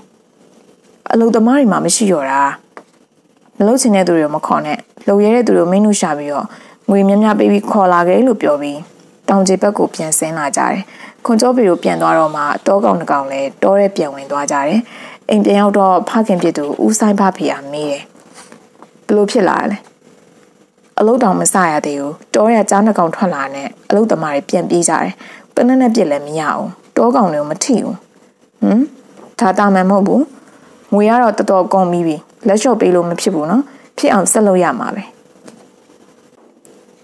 ထို့နောက်သားပါနှစ်ယောက်ခေါင်းချင်းဆံပြီးတော့တိုင်မြင်ကြတယ်။နောက်တစ်နေ့ရောက်တော့ပထမအလုပ်သမားတွေကမလိုက်ကြတာကြောင့်လူသစ်ရှာပြီးတကြောပြန်သွားပြန်တယ်။သူတို့ထုံနေရောက်တော့အခြေအနေကငြိမ်သက်နေရဲ့။အလုပ်လုပ်ဖို့တောင်ကျေဘက်သွားတော့မှတောရပုံးကွယ်နေတဲ့ကြာဝုန်းကနေခုံထွက်လာပြီးအလုပ်သမားတယောက်ကိုဆွဲယူသွားလေရောတယ်။ဒီတော့မှအလုပ်သမားတွေလည်းဆက်မလုပ်ရတော့ပဲနဲ့ ပြန်ပြေးရတယ်။ဘသူမှအရေးဆုံးပြီးတောရဲလိုက်မရှာရဲကြပြီ။ဒါကြောင့်ရွာပြန်မှုပြင်လေရဲ့။ထိုတဲ့ကမိုးမခရတရွာလုံးတော်တော်ပြန့်နှံ့သွားလေရဲ့ညောင်ပန်းရောက်တော့တရွာလုံးတိတ်ဆိတ်နေရယ်ထို့ချိန်ရောက်တော့မှလူသေးအလောင်းတစ်လောက်ကိုလေကုတ်ကကိုက်ချပြီးကြီးမားလိုက်တောကောင်တကောင်ရွာထဲဝင်လာတယ်ကြားနဲ့ရတော့ရွာရခွေရမဟောင်ရဲပဲအမိကုန်နေကြတယ် တောကောင်ရလူသေးအလောင်းကိုဦးဆိုင်ဘဖေတို့ချန်ပဝါရောက်တဲ့ထိဆွဲယူလာပြီးချန်ပဝါမှာချပြီးပြန်ထွက်သွားတယ်မနက်ပိုင်းအချိန်ကတောဆက်မှာကြားဆွဲခံရလို့တိတ်ဆုံးသွားတဲ့အလောင်းပဲဖြစ်လေတယ်ကြားကဖမ်းမိထားတဲ့တားကောင်မစားပဲဒီတိုင်းပြန်လာထားတာထူးဆန်းလာတယ်နောက်တနေ့ချန်ပဝါမှာအလောင်းတလောင်းရောက်နေရကြောင်းချက်ချင်းရွာပြင်ဘက်မှာရှိတဲ့တုတ်တံကိုတည်ယူသွားပြီးတော့တကြိုလိုက်လေတယ်။ခွန်ကျော်ပီတို့လည်းတောင်ကျိုမသွားရတော့တာကြောင့်အခက်တွေ့နေကြတယ်။သူတို့ပိုင်တဲ့ဘိန်းကင်းတွေဘက်မှာ ဘိန်းစိခွာတဲ့အချိန်ဘိန်းထွက်တဲ့ရာသီရောက်နေရကြောင်းဘိန်းစီချစ်သူဘိန်းစီခွာသူအချို့အလုပ်ဆင်ကြတယ်။ဘိန်းစီချစ်တဲ့အလုပ်ကိုကျွမ်းကျင်တဲ့အလုပ်သမားတွေကပြုလုပ်ပြီးဘိန်းစီခွာတဲ့အလုပ်ကိုမိန်းကလေးတွေကပြုလုပ်ကြတယ်။နေ့လယ်ဘက်မှာဘိန်းဆိုင်ခင်တွေကိုကြားတကောင်ဝင်လာပြီးတော့ဘိန်းစီချစ်နေသူတယောက်ကိုဆွဲယူသွားတယ်။မိန်းကလေးတွေရဲ့စူးစူးဝါအော်တန်ကြတာကြောင့်ခွန်ကြော့ပေကိုချက်ချင်းသွားကြည့်တော့အလောင်းအောင်မတွေ့ရတော့ဘူး။ မိန်းကလေးတွေရဲ့စူးစူးဝါအော်တန်ကြတာကြောင့်ခွန်ကြော့ပေကိုချက်ချင်းသွားကြည့်တဲ့အခါမှာအလောင်းအောင်မတွေ့ရတော့ဘူး။ဘလို့ဖြစ်တာလဲ။ဘင်းကင်းနဲ့ကြားတကောင်ရောက်လာပြီးတော့လူတယောက်ကိုဆွဲယူသွားတာ။နေကင်းဘက်မှာဘဲကကြာရောက်လာတယ်။မသိဘူးအကောင်အတော်ကြီးရဲ့။ ဒါကြောင့်ဘေးကင်းထဲမှာမနေရတော့တာကြောင့်ပြန်သွားလေရာလုံးမဲ့သူမရှိတော့ဘူးညအချိန်ရောက်တော့ကြားတကောင်ကအလောင်းတလောင်းကိုက်ချီလာပြီးရင်နောက်ခွန်ကြောပီတို့ချန်ပေါဝါမှာချထားပြီးပြန်ထွက်သွားလေရဲ့မနေ့လင်းတော့မှအလောင်းကိုတုတ်တန်ကိုတည်ယူသွားပြီးတကြိုရပြန်တယ်လူနှစ်ယောက်တည်ရပြီးတဲ့နောက်မှာရွာလူကြီးဥခွန်တီရောက်လာပြီးပြောတယ်ဒါတာမန်ဖြစ်နေရမဟုတ်ဘူးအမားရင်ရှိလို့ခင်ဗျားတို့ယူထားမြေကွက်တွေကိုတက်ဆိုင်သူတို့ပြန်ပေးလိုက်ရင်ကောင်းမှထင်တယ် ဒီမြေကွက်တွေကမြေစင်းရုံးမှာကျုပ်အမိပေါက်ဖြစ်နေပြီလေအမိပေါက်တွေကဖြတ်လို့ရတယ်ဖြတ်တာမခတ်ဘူးဒီလိုစဖြတ်ရင်လူတွေတေးတာများပြီးတော့ရွာပြက်လိမ့်မယ်ခမက်ဒီလိုမှမေးလို့ရင်ကျိုင်းတုံယုံအကြောင်းကြားလိမ့်မယ်လို့ပြောတော့မှဦးဆိုင်ဘဖေမှာလက်လျှော့လိုက်ရတော့တယ်နောက်ညမှာဘိန်းခင်းမှာအလုပ်လုပ်နေတဲ့အလုပ်သမားတယောက်ရဲ့အလောင်းချန်ပါဝါရောက်လာပြီးနောက်မှာဦးဆိုင်ဘဖေကစက်မနေရတာကြောင့်မိုင်းပြွန်သွားပြီး နာမည်စင်းပြန်ဖြတ်ပေးရတယ်။နာမည်စင်းဖြတ်ပြီးရဲ့နောက်ပိုင်းမှာချန်ပေါဝါကိုအလောင်းရောက်မလာတော့ပေမဲ့ဘိန်းကင်းတွေကိုအလုတ်သမားမလာရတော့တာကြောင့်ဘိန်းစီချစ်သူခွာသူမရှိပဲဖြစ်နေလေတော့တယ်။ဘိန်းစီခွာတဲ့အလုံးမှာအချိန်နဲ့လုပ်ရတဲ့အလုပ်ဖြစ်တယ်။ခွာယူချိန်ရောက်ပြီးမခွာနိုင်မှာပြက်စီလေတယ်။အခုလဲဦးဆိုင်ဖဖေရဲ့ဘိန်းဆက်ခင်တွေမှာအလုတ်သမားမရှိတာကြောင့်တော်တော်များများပြက်စီဆုံးရှုံးမှုဖြစ်ရတယ်။ တချို့အလုပ်သမားတွေကတော့အရေးဆုံးပြီးအလုပ်ဆင်ပေးကြတယ်။ဒါပေမဲ့ဘင်းကင်းနဲ့ရောက်မှကြားဟိန်တန်ကြလို့ထွက်ပြေးရတယ်။နောက်တော့ရွာလူကြီးအချို့ရောက်လာပြီးတောင်းတဲ့သက်ဆိုင်တဲ့နက်တွေကိုကျေနပ်အောင်တောင်းပန်ကြတယ်။ဒါကြောင့်နက်နက်သက်ဆိုင်တဲ့ကိစ္စတိတူအချို့ခေါ်ပြီးတောင်ပေါ်တက်သွားကြတယ်။တောင်ပေါ်ရောက်တော့ဥပန်ကောင်ကခေါင်းဆောင်ပြီးအလုပ်သမားတွေနဲ့နန်းနန်းဆောက်လုပ်နေအောင်တွေ့ရတယ်။ဦးဆိုင်ပါပြပါပါလာတာမြင်တော့ဥပန်ကောင်ကမေးတယ်။မြေကွက်တွေပြီးလို့ဒီနက်ကုန်းတွေပါခမည်းအမိပေါက်ရှောက်ခက်ပြီးရဖြစ်ကြောင်းတင်းယူဖို့လာလား။ မဟုတ်ပါဘူးဗျာတောင်းမှန်ခြင်းလို့ပါပြီးတော့တောင်ကျရမြေရကွက်ကိုလည်းကျုပ်ရဲ့နာမည်ပြန်ဖြစ်ပြီးပါပြီလို့ပြောမှဥပန်ကောင်ကအတန်အသင့်ကျေးနပ်သွားဟန်ရှိရဲ့ဘသူ့ကိုတောင်းမှန်ပါလဲတက်ဆိုင်ရာပုဂ္ဂိုလ်ကိုတောင်းမှန်ခြင်းလို့ပါဒီလိုဆိုရင်တောင်းမှန်ပေါ့နန်းနန်းကအခုပြန်ဆောင်နေရဆိုတော့နှရုပ်ထုတွေတော့မရှိသေးဘူးကျွန်တော်တို့ကဘာမှမသိလို့ဆရာကြီးကပဲကိုစားတောင်းမှန်ပေးပါထိုစကားကြတော့ဥပန်ကောင်ကခေါင်းငိမ့်ပြတယ်ကောင်းပြီလေလုပ်ပေးပါမယ် ထိုကဦးဆိုင်ဘဖေမှာစိတ်သက်သာရသွားပုံနဲ့ပူဇော်မှုပြုဖို့အတွက်ငွေချုပ်ပေးပြီးတော့ပြန်သွားကြလေရဲ့စီးပွားရေးသမားလောဘသမားတွေကသူတို့တာတဲ့အချိန်မှာ မျက်နှာတေးတေးနဲ့လှုပ်ချင်ရလှုပ်ပေမဲ့ဒုက္ခတွေ့လာပြီဆိုရင်မျက်နှာငလေးနဲ့တောင်းပန်ရမှာလဲဝင်မလေးတက်ကြပဲလို့ဥပန်ကောင်ကမချက်ချတယ်ဒါပေမဲ့လှုပ်ဆက်ရှိတဲ့အလုပ်တွေကိုလုပ်ပေးလိုက်တယ်တောင်းပန်ပြီးရနောက်မှာတော့ဖေးဆိုင်ခွန်းတွေမှာအနောက်အရှက်မတွေ့ရတော့ဘူးဒါကြောင့်အလုပ်သမားအချို့ကမရေတရဲနဲ့အလုပ်ပြက်ဆင်းပေးကြတယ်ဒါပေမဲ့အချိန်လွန်သွားတာကြောင့်ဘင်ကင်းအချို့ပျက်စီးနေလျာဖိမရတော့ဘူးခွန်ကျော်ပီရိုမီတာစုမှာမလုပ်တင်တာလုပ်မရကြစီးပွားရေးအတော်ထိခိုက်ရတယ် ကျိုင်းတုံမျိုးကတန်လွင်အရှိပတ်ရှိရှမ်းပြည်နယ်မှာရှိတဲ့မြို့တွေမှာအကြီးဆုံးမြို့ဖြစ်လေရဲ့တရုတ်နိုင်ငံယူရီးယားနိုင်ငံတို့အပြင်လောနိုင်ငံ BNN နဲ့အင်ဒိုချိုင်းနာနိုင်ငံတို့နဲ့အယောင်းဝယ်ကူးတန်းသွားလာရမှာလွေကူရာကြောင့်စီကားလာတယ်မြန်မာနိုင်ငံအတွင်းရွှေတရိကန်ဒေတာမှာပါဝင်တာကြောင့်အယောင်းအဝယ်သမားတို့အသွားလာများတဲ့နေရာလည်းဖြစ်လေရဲ့မြန်မာနိုင်ငံရဲ့အရှိတ်တကားပေါက်လို့လည်းခေါ်ဝေါ်ကြတယ်။ကျိုင်းတုံကကျိုင်းတုံစော်ပွားရုံးဆက်ရမျိုးလည်းဖြစ်လေတယ်။ မြို့ပေါ်မှာရှေးဟောင်းစီပထိုးတွေလည်းရှိတယ်။စေးရုံစေးကန်ရှိတယ်။ရုံးကစားတဲ့အဆောက်အဦရှိတယ်။ခြုံပြောရရင်တော့ကျိုင်းတုံကတန်လွင်အရှိရှမ်းပြည်နယ်အရှိပိုင်းဒေသမှာစီးပွားရေးသမားတို့အများဆုံးနေထိုင်ကြတဲ့အစီကားဆုံးမြို့တစ်မြို့ဖြစ်လေတယ်။စိုင်းကြော်ပင်နေတာနဲ့တိုက်ကမိုင်းပြပတ်ထွက်တဲ့ကားလမ်းနဲ့မဝေးလိုက်နေရမှာရှိတယ်။ကျေဝန်းလာတဲ့ channel မှာနှစ်ထပ်တက်လုံးစောက်ပြီးတော့နေရဖြစ်လေတယ်။စိုင်းကြော်ပေကစောမြတ်ကြီးတို့သားမျိုးခေါ်လာပြီးကောင်းမွန်စွာထားတယ်။ဒါပေမဲ့အစင်မပြေမှုတွေရရှိနေတယ်။ စောမြတ်ကြီးရောက်လာတာကိုစိုင်းမြတ်ကျော်ကသဘောမကျ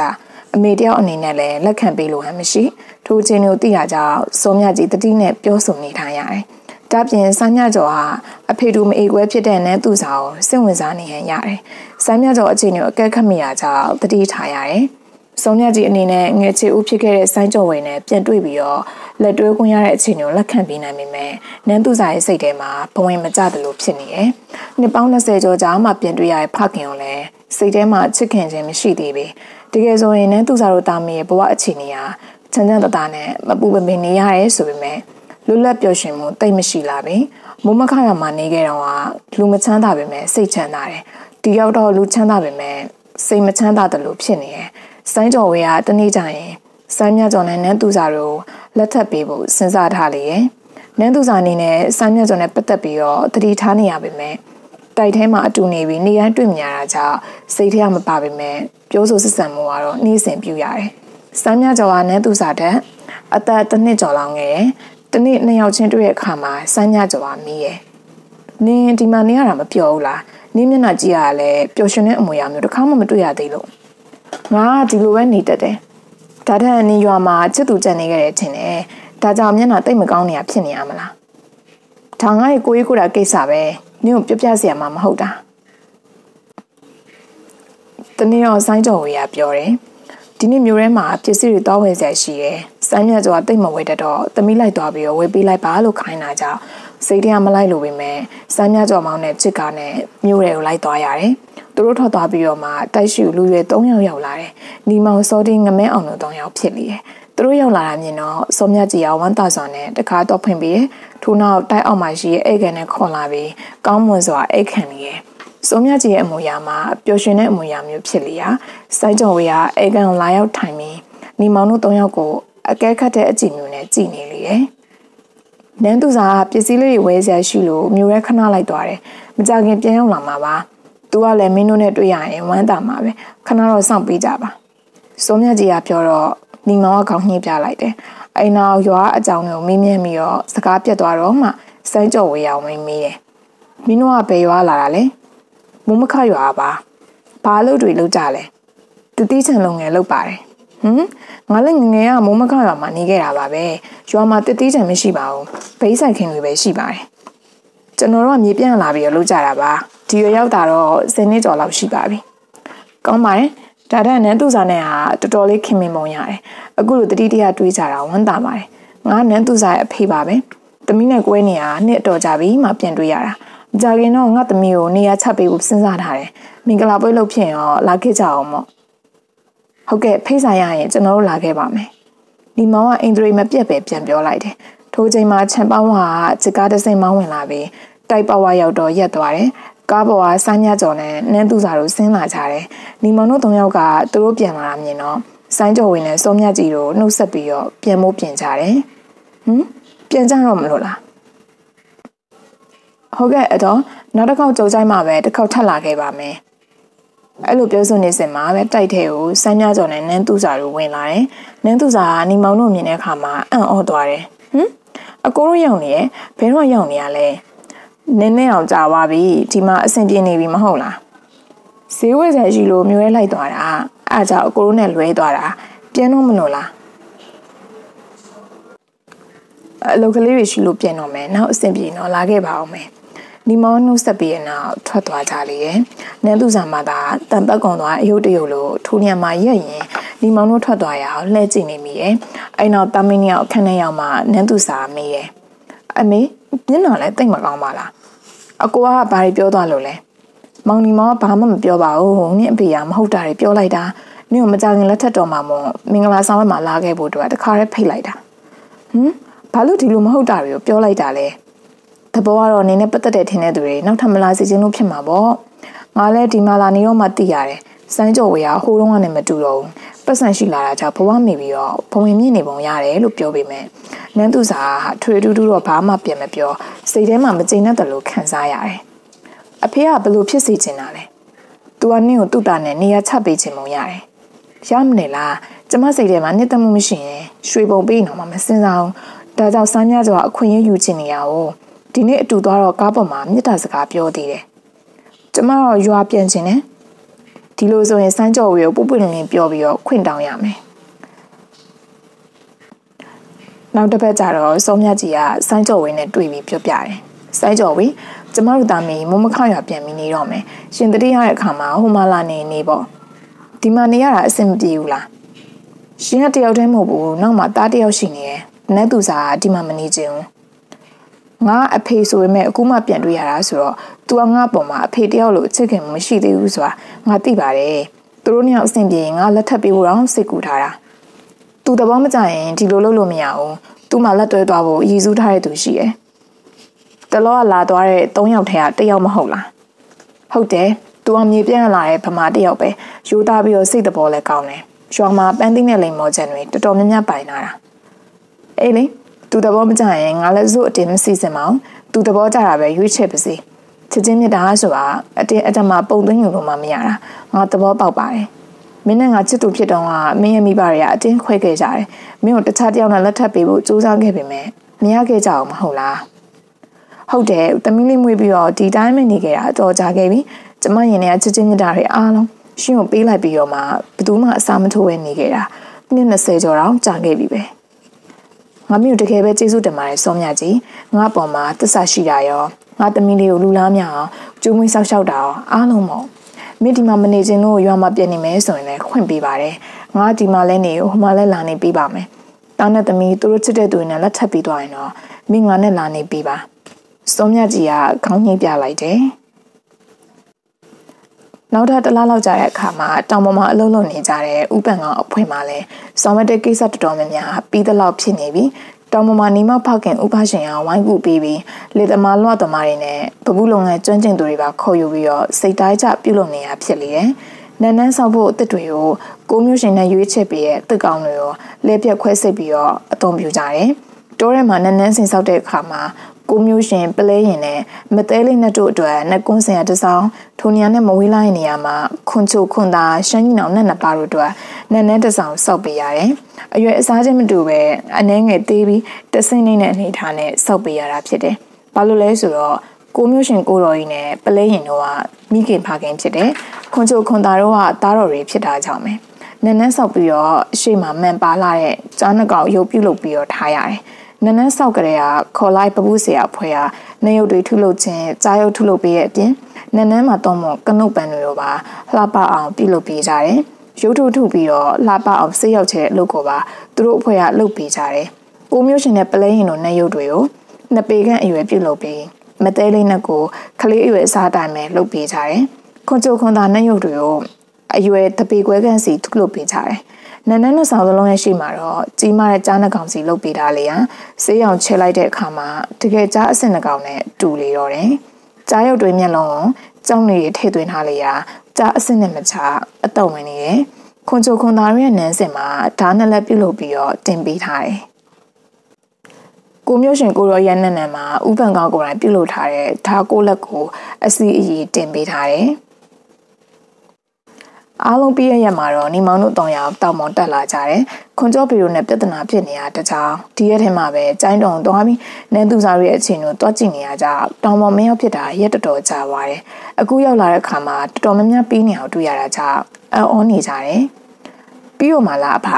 တော်တော်များများတော့ပြီးတဲ့လောက်ပြီးပါပြီ။ဒါပေမဲ့ကိုမျိုးရှင်ကိုရော်ကြီးမှားထားတဲ့သူ့ရဲ့လက်တုံတော်တာကိုတွေ့အောင်ရှာရအောင်မယ်။ကိုရော်ကြီးနဲ့တွေ့ခွင့်ရရင်မေးကြည့်ရမယ်။မင်းတို့တောင်ကြီးကိုပြန်မစင်းနဲ့အောင်။ဟုတ်ကဲ့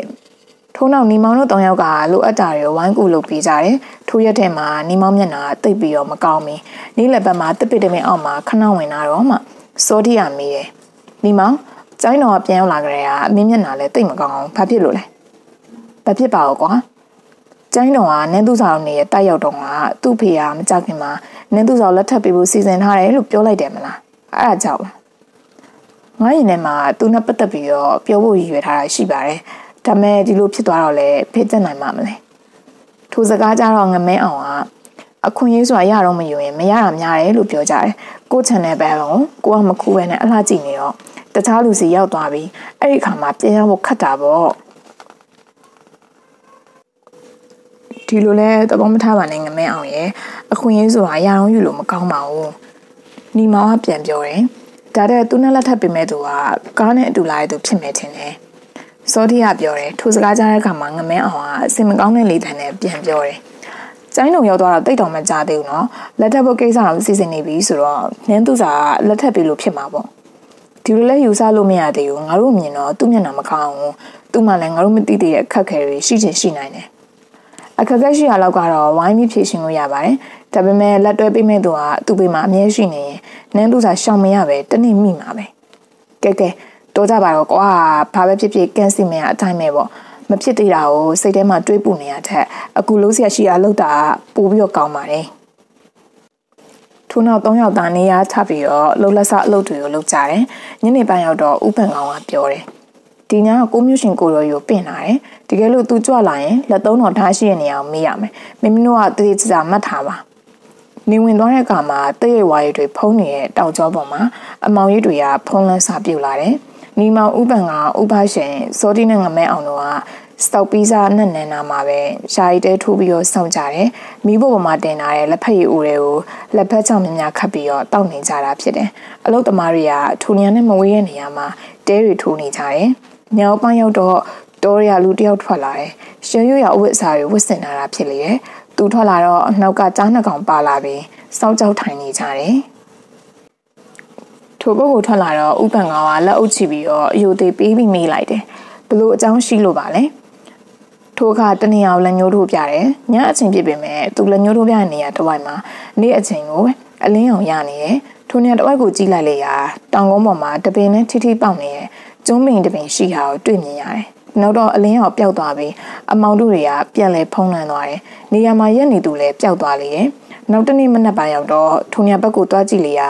ညမြင်ခဲ့ရတဲ့တက်တန်းရင်ကျုံးပင်ကိုတွေ့လိုက်ရတယ်။ဒီနေရာကကိုရိုရီကန်တော်ကုန်ခဲ့တဲ့နေရာဖြစ်ပုံရတယ်။လက်သုံးတော်တာကဗမာရှားမှာလဲအဖခဏနေရောအချိန်နေကြည့်လိုက်အောင်မယ်လို့ပြောပြီးဥပန်ကောင်ကကျုံးပင်နာကိုတွားပြီးတော့အချိန်နေကြည့်လေတယ်။ကျုံးပင်ရဲ့ချင်းတနေရာမှာထူးခြားမှုတစ်ခုရှိတယ်။ ကြီးပေါင်းတက်နေတယ်လို့ဖြစ်ပြီးတော့ဖောင်းနေတယ်။နောက်တော့ဥပန်ကောင်ကထိုနေရာတစ်ဝိုက်ကိုကပါသုံးပြီးဖောက်ခိုင်းတော့စိုးဒီနဲ့ငမေအောင်တော့ပြုလုပ်ပေးကြတယ်။အတန်ကြာတော့အထဲမှာအခေါင်းပေါက်ဖြစ်နေအောင်တွေ့ရကြမီးအောင်နဲ့ထိုးဆရှောက်ဖွေလေးရပင်စီကြီးပေါင်းထဲမှာနှစ်ပေါင်းများစွာကြာတဲ့အထိနစ်မြုပ်နေတဲ့ဓာတ်တလက်ကိုတွေ့ရတယ်။တဲ့အိမ်ပေါ်မှာတော့ကိုးမြို့ကိုးတကကိုးသားရှင်ဆွေစာတန်းကိုရှေးလေရည်နဲ့ရေးထားတာကိုတွေ့ရတယ်။ထိုနေရာမှာခွန်ချိုခွန်သားတို့ရောက်လာပြီးအကျိုးကြောင့်ပြောတာကြောင့်ကိုမျိုးရှင်ကိုရောရ မိမိဥကောင်းကိုလက်သုံးတော်တာနဲ့သစ္စာပြုတ်ပြီးဖြတ်ပေးခဲ့တယ်။ဥကောင်းရတဲ့အခါမှာခွန်ချိုခွန်သားတို့ကမွေးစားဖခင်ကိုမျိုးရှင်ရဲ့အလောင်းကိုထိုနေရာမှာပဲလက်သုံးတော်သားနဲ့အတူမြေမြုပ်ပြီးအမတ်အသားဖြစ်စေဖို့မြေပုံပေါ်မှာကျုံးပစ်တပင်ကိုစိုက်ပြိုထားခဲ့တာဖြစ်တယ်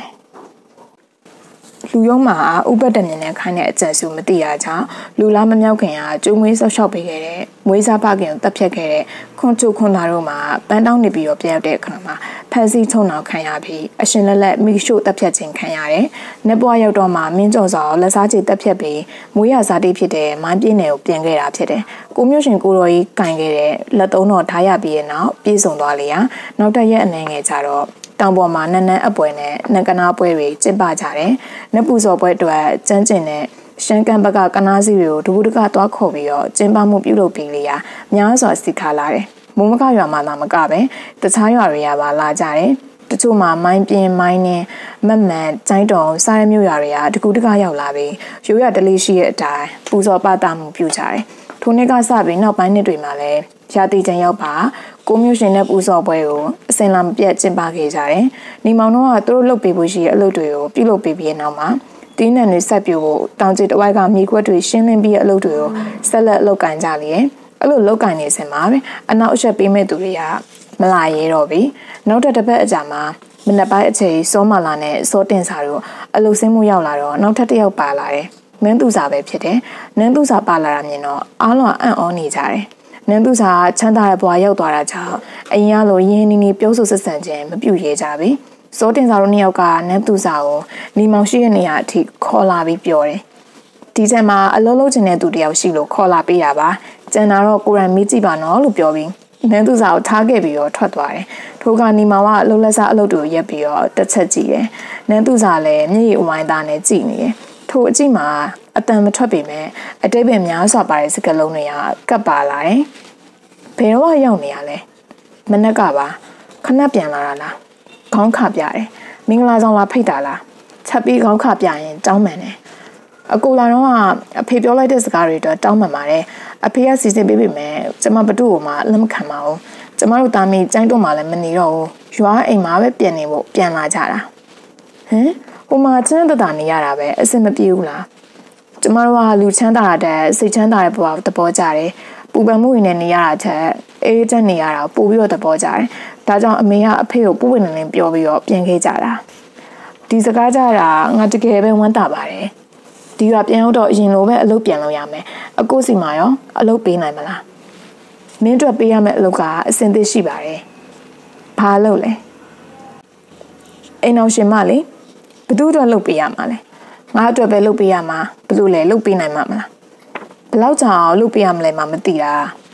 တိတ်တော့မကြပါဘူးတသက်လုံးလုပ်ပေးရမှာအကူကလည်းဒီစကားကိုစမ်းမစင်ပုံမစင်ပြောတယ်ကျန်တိုင်းမပြောတော့ဘူးလားပြောပါမယ်ကျိုင်းတော့မတော်ငင်ကလေးကပြောဖို့စိတ်ကူးထားတာမြို့ကိုလိုက်သွားလို့သာမပြောလိုက်ရတာပါငါမင်းပေါ်မှာအရင်ကလေးကချစ်နေရငါမြတ်တာကိုလက်ခံပေးပါအကိုကျမပေါ်မှာတကယ်ချစ်တယ်ဆိုရင်အကိုမြတ်တာကိုလက်ခံပေးပါမယ်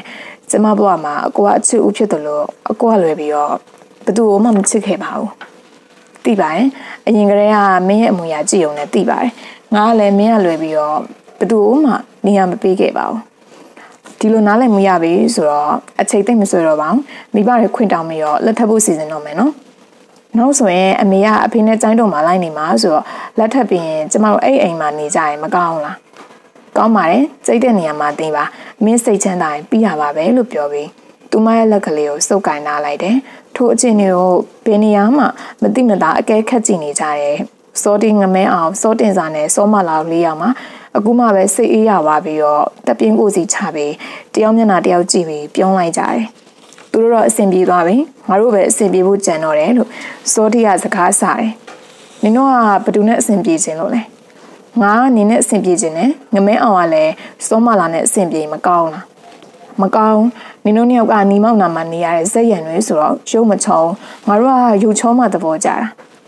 ငါတို့ကရုပ်မချောပဲမဲ့စိတ်သဘောထားတက်ရှိဖြူစင်ကြပါတယ်ရုပ်ချောမှသဘောကြတယ်ဆိုရင်တော့ငါတို့လည်းမတက်နိုင်ဘူးသဘောကြတဲ့သူရှာယူကြပါလို့ငမဲအောင်ကပြောလိုက်တယ်ထိုအခါမှာမင်းကလေးနှစ်ယောက်ကထပ်ပြောတယ် ငါတို့ကတကယ်ပြောတာမဟုတ်ပါဘူးပတ်စံချမ်းသာပဲရုပ်ချောသူယူပြီးမှဒုက္ခနဲ့တွေ့မှာတော့မခံစားချင်ပါဘူးဒါဖြင့်နင်တို့အတော်အားတယ်ငါတို့စိတ်ထဲကသဘောမကျရင်လူပြိုစကားပြောနေအောင်အေးအေးစိတ်ထိုင်ပြီးနားထောင်နေပါမလားဟဲ့တော်ပါသေးရဲ့စက်သိန်းအောင်မှအလွမ်းနဲ့တင်ရတော့မယ်ထင်နေရအခုမှပဲစိတ်အေးရတော့တယ်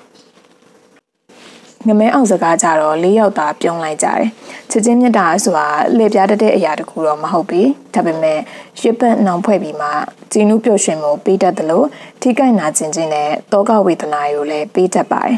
သို့တော်လည်းချစ်ချင်းမြတ်တာဆိုတာလူသားတိုင်းတတဝါတိုင်းအတွက်မရှိမဖြစ်လိုအပ်တဲ့အရာတစ်ခုသာဖြစ်ပြီးတော့တယ်